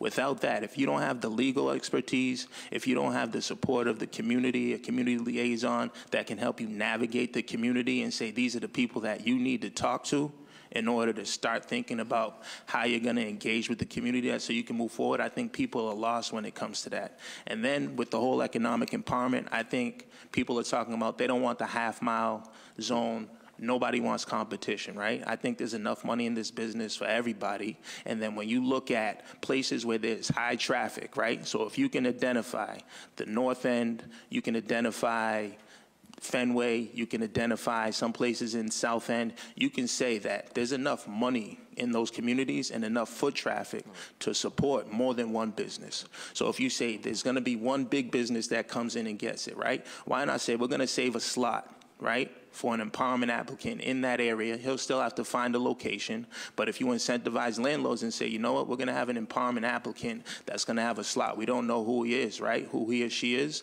but we're going to have a slot for them and help them move through that process. I think you can begin to even out the playing field. Thank you. Thank you, Mary. One, one last small point. I think that also if you continue to remind people that this is going to happen, I think we've been in so many conversations where people just think this isn't going to happen, the clock's going to be turned back. I think if the city can remind people that not only was this voted, but it's, it has arrived, I think it could change the game. Sometimes you go to these meetings and people will say to us, they've said to us, why don't you go to Prudential? You should go to Mattapan. The reality is, we're coming to you where it's at because we think this is a prime location. And if people, the attitude can change, start beginning with the city to inform people that this is going to happen, I think the transition might be better for all of us. Thank you. Thank you very much. Thank you to uh, panel three. I really appreciate your time and attention. We're now going to go to, uh, we've also been joined by our colleague, City Council President Andrea Campbell. We're going to go to public testimony. We're an hour and 15 minutes over the slot. We have a hard stop at 1:30 because we have another hearing coming in. So we have like 15 people that have to testify in the next 15 minutes. So if I can ask folks to be as succinct as possible, um, 30 seconds to a minute would be, would be respected by the chair, but we do have a hard stop at 1:30, so to be inclusive of as much testimony as we can.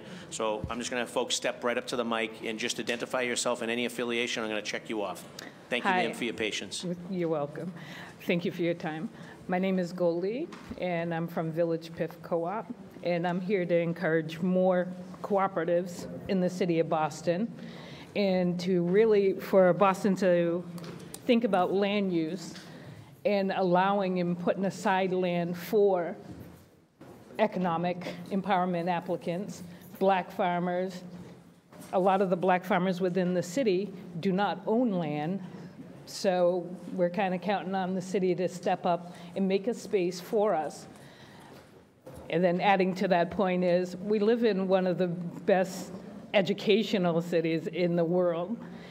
Why aren't we leaning more upon Harvard, UMass, Northeastern, you name it, to get involved and give back to our community? They came into our community, they've taken our housing, give back something to us, whether it's interns, whatever. They could help us out in big ways, and I think that as city officials go forward, they should really think about engaging with these schools and the land use. Thank you very much. your I'm name and I'm Monique, and I'm representing Village PIF Cooperative. Um, Same thing, I'm here to hope, in hopes that you guys will prioritize cooperatives and small businesses, but by by prioritizing cooperatives, it gives opportunity for multiple people to come under one license and be owners of a business and start up their own business. Um, it- It's a real economic growth for the mass of people. Um, in the community. So I'm really just pushing for prioritization of cooperatives and like my mom said about building relationships with the um, colleges. We're out here as advocates doing this on our own and partnering with certain people. But if you guys build that relationship with BU or Northeastern, whatever, and set up a thing where it's our internship and maybe then later turns on to a full job and their, their part. And if it's a co-op, then they could be become an owner of that too. That's it. Thank you so much. Appreciate you. sir. And we have two mics, so just start to queue up, folks. So I'm just going to continue to take public testimony. Please be as brief and succinct as possible. We have 13 minutes left to fill everybody, and you have the floor, sir. Name and affiliation. Uh, Thank you for the time. My name is Harry Jean-Jacques. Uh, I grew up, i- I grew up and I'm a resident of Boston. I have a record. Um, in fact, Councilor Flynn used to be my probation officer. Uh, I wanted to talk to you briefly about why people like me are locked out of the billion dollar green rush. After getting involved with the process, because my brother is an economic applicant, he was rejected. I decided to uh, pursue the ancillary market industry through making my own media company, Dark Matters Media. Um, as a former local union carpenter for the city of Boston, I've never personally seen many contractors awarded to black and brown people. I think we could fix a huge problem in equity, everything you're talking about right now, by getting black and brown people who've been affected by the drug war, who have felonies, automatically get those contracts through the uh, ancillary uh, infrastructure. Another thing would be education. I hear a lot of people being misinformed. Uh, I'm taking upon myself with the people I know, MRCC, uh, Chauncey Spencer behind me, uh, economic applicant, to educate people at the Z Gallery at 351 uh, Dudley Street in Roxbury. Hopefully, you can all join me there weekly. Thank you for your time. Thank you very much. Hi, my name is Enid Pope, and I live in Boston. I'm a resident of Bay Village, and I'm speaking up um, as the economic empowerment applicant. Um, I was one of the 120 people who were approved, and um, I went through the strenuous process of trying to submit an application and respond to the questions that the commission had for me. I wanted to just uh, reiterate some of the points that were mentioned by the gentleman from Prince Lobel, and that is um, the whole economic uh, priority applicants. There's somewhat, uh, you know, missing from the ordinance. Uh, there is a mention of them in um, the criteria section, where it does state um, to uh, identify yourself as an economic empowerment applicant. Um, however, there's no other mention um, elsewhere in the ordinance. And so I do feel like economic empowerment applicants should be added as well as uh, to the same uh, category of equity program applicants. And so that's weighted at 20%. So I think that should be added. Um, I also uh, feel like um, yeah, I feel like it should be weighted at 20%, and I also feel like the application requirements, uh, where it states whether or not the applicant is a designation that should be recognized as well. Uh, economic empowerment applicants are the only applicants that are required to hire CORIs and also 70, have 75% of the, pop, of the employee and staff from disproportionately impacted areas. And based on the way the program is written, those who go through the Boston Equity Program will be general applicants, and they will not have the same requirements. So I'm just encouraging you guys to factor in these economic empowerment applicants, um, also incorporate them more into your language, and also have them weighted um, at the same uh, 20% as Boston Equity applicants. Very good. Thank you very much. We're next. We have 45 seconds each. Go ahead. Okay, um, my name is Desiree. I'm from Roxbury, and I'm just going to cut it short by half. Um, I want to just um, let people know that most of um, the people that have agreements negotiated by the city to this day, um, some of the members of the ZBA sitting on the boards of these same companies perpetuate the notion that only city insiders have the chance to successfully open in the city of Boston. Um, surely we know they can abstain from voting on their own interests, but is, is this really enough? How can the normal person compete with that? To address the concerns, I propose that the City Council take control of any licensing decision from the mayor's office and into the control of the City Council. A body of 12 elected officials is more properly suited to determine what's best for the communities they serve.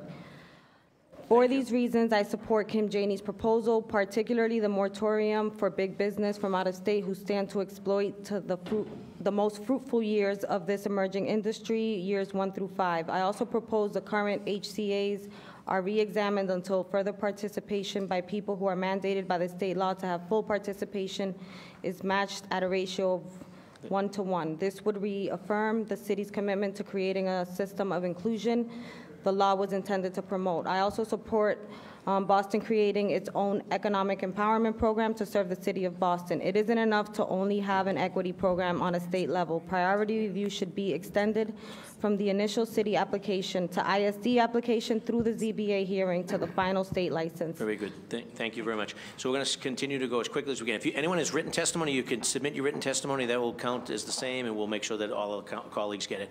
We're now down to 42 seconds each. Go ahead. Hello, good morning. My name's Sia Samora. I'm an economic empowerment applicant. I've been, I'm going ahead and trying to get licensed here for years. I just have a few things to say. Definitely, the half mile buffer rule must go for economic empowerment applicants.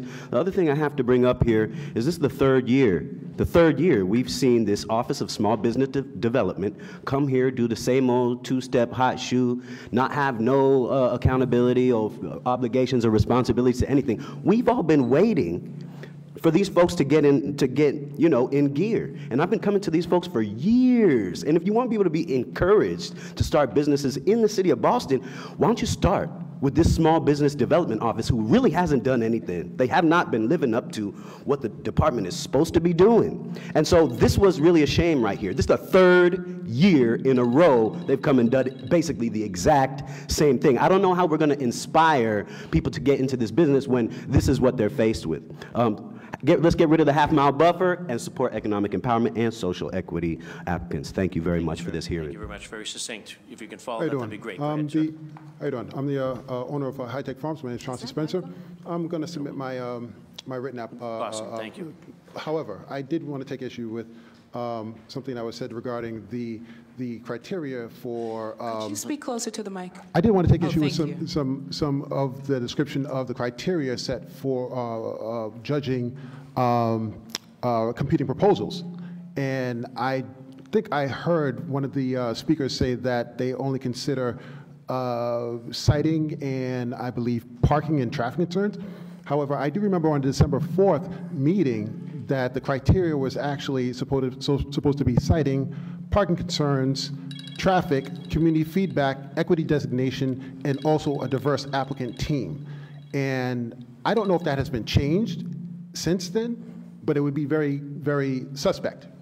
And I'm not, um, I don't know what you want to do in regards to that. I would think uh, changes like that don't allow businesses like myself to operate within a, a, a appropriate space, and that causes a, a whole host of problems. Now, maybe there was possible, maybe possibly there had been more uh, uh, criteria that the, that were forgotten, but I hope that they they weren't because that is very critical to our, our, our movement through the uh, process. And we have been waiting since May of uh, last year and we just recently had our outreach meeting.